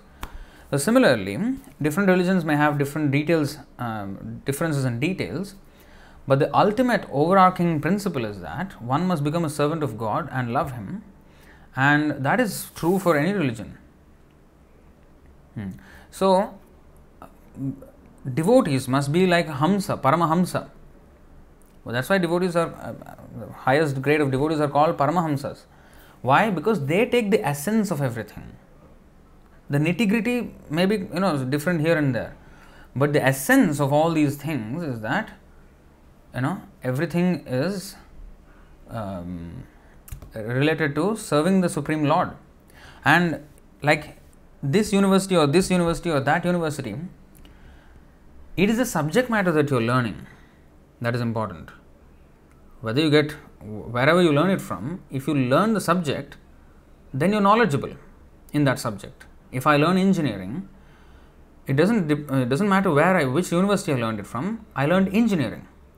Similarly, it doesn't matter which university of religion we come from. if we have understood the subject, which is to understand God and to love Him, we have passed with flying colors. But if I profess this religion or that religion or whatever religion, but if I don't come to the point of loving God, if I don't come to the point of understanding God and to love Him, whatever I did is a useless thing, failure. This religion or that religion. So the problem is not with this religion or that religion. The, the problem is with me, whether I am following properly or not, and whether I am coming to the actual point of. Now, if I am studying in a university, I should get the degree, right? If I don't get the degree, what is the use of my uh, university education, right? So, similarly, if I am following some religion, I should have the result of that. What is that? Understanding God and to love Him. And this understanding of God and loving God has symptoms. And we can see from the symptoms whether he has achieved the perfection of his religious practice or not. एतावान् साङ्ख्ययोगाभ्यां पद स्वधर्मो परिनिष्ठया जन्मलाभ परपुंसाम अन्ते नारायण स्मृति so one must come to the point of narayana smriti always or the always thinking of god that can only happen with love only when you love someone can you always think of him. Hmm. Whatever you are doing, you will think of that person if you love that person. So, that is only achieved, love for Krishna, and the thinking of Krishna can be only achieved if um, we, are, we are in love with Krishna. So, to develop that, so what are the symptoms of a person who has achieved such a state of mind, such a state of existence? And Arjuna asked those questions in Bhagavad Gita because it doesn't matter which school you come from. Do you have the symptoms of a learned person or not? Do you know your subject matter? Now, an engineer may come from this university or that university, but we would want to test, we want to see if he knows what engineering is all about or not. Does he know the subject? It doesn't matter whether he comes from Harvard or some village or whatever. Does he know his subject? Or a doctor for that matter? Anybody. That is what needs to be tested. The symptom. Huh. So the symptoms are there. a person who loves God will love all the children of God as well. And he wouldn't harm anyone. So if he is harming someone, that means he hasn't achieved the affection for God. So, in this way, no religion is bad, but the followers, if they follow, then it's okay. But if they don't follow, most of the time in this Kali Yuga, nobody follows. That's the problem. They twist the meaning of scriptures. Even in our own uh, Vedic scriptures, they're twisting so much. Every religion system, this is going on. And they're screwing out their own meaning. Like in Christianity, there is uh, thou shalt not kill, but they changed it. Oh, can, this is only referring to the human being. Animals have no soul. This is their interpretation. So we can't interpret. Uh, but whatever it is, our Vedic religion, our Sanatan Dharma, um, in fact, every other religion has its origin here. And this is the uh, summum bonum of all religions, and especially the, in this Kali Yuga, the chanting of the holy names is the ultimate religious principle. And if you see every religion, whether Hinduism or you know uh, Christianity or Islam or whatever, there is the chanting of the name of God. Even in Buddhist, they chant you know uh, what is that?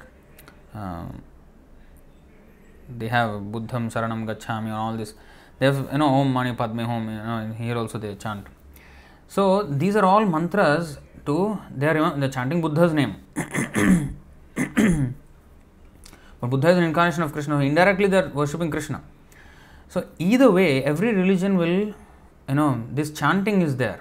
Like in the in the Islam, there is, you know, you have to do your prayers, you have to chant the prayers five times a day. And actually, it's more than that, in 64 times a day but it has been minimum uh, legislated as five times a day. And then even ours is Kirtaniya Sadahari, Satatam Kirtayanto Mam. And even Christianity is Thou art in heaven, hallowed be thy name from dawn to dusk.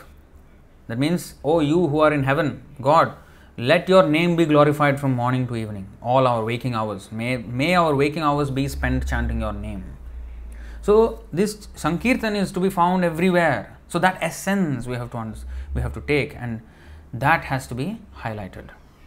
Not fight over the differences, but um, unite in the common factor that is binding all these religions, you know, together. So, like that, we can expand this Hare Krishna movement, this Sankirtan movement everywhere, world over. It's a universal religion. Hmm.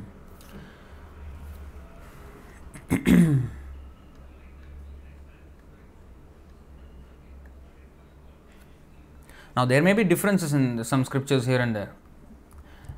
They are not um, that important. The most important is that every religion says that you have to surrender to God. That we have to take. And we have to, when we're preaching also, uh, unnecessary arguments, if we are just fighting over not necessary things, or oh, this and that, this and that, we can always, you know, there will be unnecessary fights and unnecessary. But if we unite on these principles that are common among all these religions and actually understand the goal of all religious practice, yes, then there is unity that is possible. Hmm.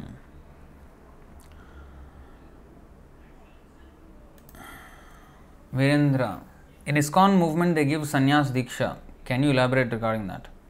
I've already got, I mean, this, this, I've already read that purport by Bhaktisiddhanta Saraswati. That is elaboration for this. Mm. Okay, what is this? Kavyaraso Pungavanam.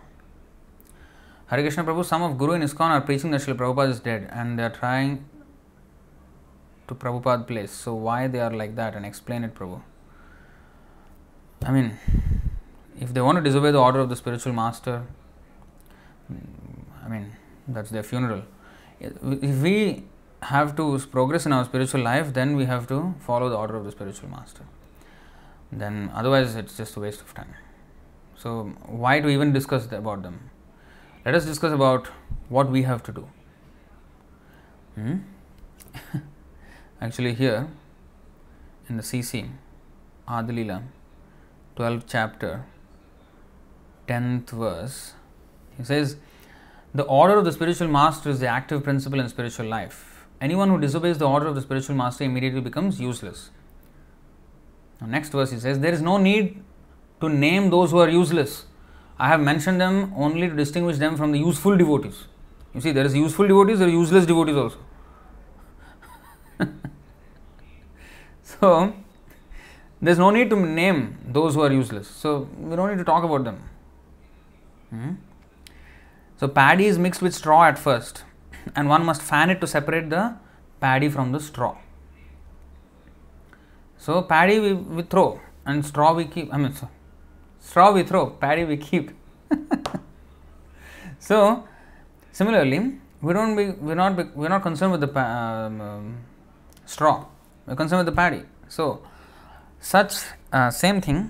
If somebody is disobeying the order of the spiritual master, Hare Krishna, let them do what they want. We will follow, and of course, if they are cheating innocent people, then we will expose them and then we will show what is the real thing.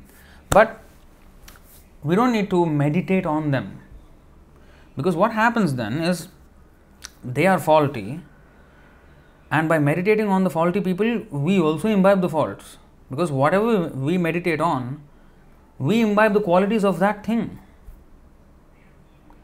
so why meditate on faulty people? Why meditate on their faults? Let's meditate on the good examples. Like uh, Srila Prabhupada how he was obedient to the uh, order of his spiritual master. And how you know the great devotees mentioned in the shastras you know like bhagavatam chaitanya charitamrita uh, follow their examples. So let us focus on that and become nice devotees. Criticizing those who are not following the order of the spiritual master may be necessary at times to distinguish the right from the wrong but mostly we should be focused on the right. And i think we have spent sufficient time if you if you follow the Ritvik uh, webinar webinars the series of five videos that i did i elaborately shown what was the core problem and why these disobediences happen um, you know these things. And so if we understand that we will understand Anyway, since you asked this question that you know you said this thing that they think that Prabhupada is dead, then namartya buddhya suyeta, that is complete offensive mentality. So one will be heading for hell, you know, if, if he is thinking like that. That's all I can say. There are 7, 15, 26 in Srimad Bhagavatam. Um, what is that? 11, 3, 21 of Srimad Bhagavatam. All these verses they point to the same thing that we cannot consider the spiritual master and even that verse from Padma Puran, Gurushu Naramatir. So, all these things point to the same thing that Yasyava Narakisaha, you will go to hell if you think like that. So, what, can, what else do we want to know? Mm-hmm. So, next question Virendra. Do sannyasi follow many rules and regulations? There are different sannyasis such as Vaishnav sannyasi, Mayavadi sannyasi. I think we have covered that at length in this in this session. I'll go to the next verse.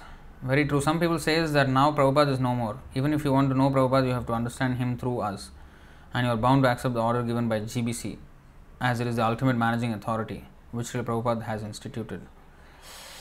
Yeah, and the first is the ultimate managing authority. Manage what? Manage the execution of the instruction of Srila Prabhupada.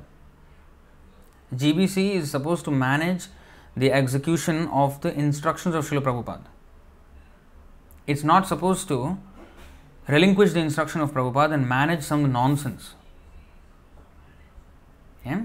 So, first of all, that has to be understood. And the first resolution of the GBC in 1975 is resolution 1 is that GBC's sole purpose is to carry out the instructions so kindly given by His Divine Grace A.C. Bhaktivedanta Swami Prabhupada and nothing else. So, first that has to be intact, and after that, yes, that instruction, carrying out the instruction, uh, that is what has to be managed. Not that it manages and whatever it manages, you that is that is correct now. No. The order, where is the order? Managing the what? Managing their own speculations, managing their own concoctions, managing their own cheating. What is the use of managing and cheating? And what is the what is the benefit we will uh, that we will get if we follow such a so-called authority? If I follow something religiously, and that something is not religiously following the order of spiritual master, then I am religiously following the irreligion. So. so that is I'm, and that means I'm following a wrong thing. Come on, it tantamounts to I'm following irreligion. So therefore, first of all, GBC has to follow the instruction of Srila Prabhupada and institute the Ritvik system of initiations. Hmm. Until then, is doing nonsense. Because they cannot show any instruction of Srila Prabhupada that this, this, this, this person has, is going to be the successor of Prabhupada. Whereas we can show where Srila Prabhupada said that after my departure, follow this Ritvik system. And it's written down. Still, they don't want to follow. And they want to speculate no, no, he meant this, he meant that. Hmm? So,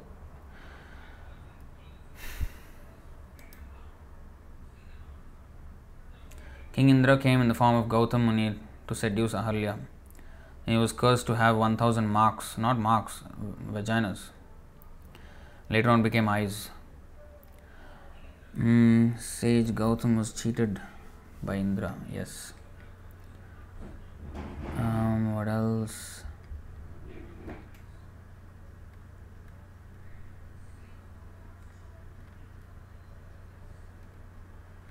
All right, thank you very much. I think that's the end of the session. Thank you all very, very much.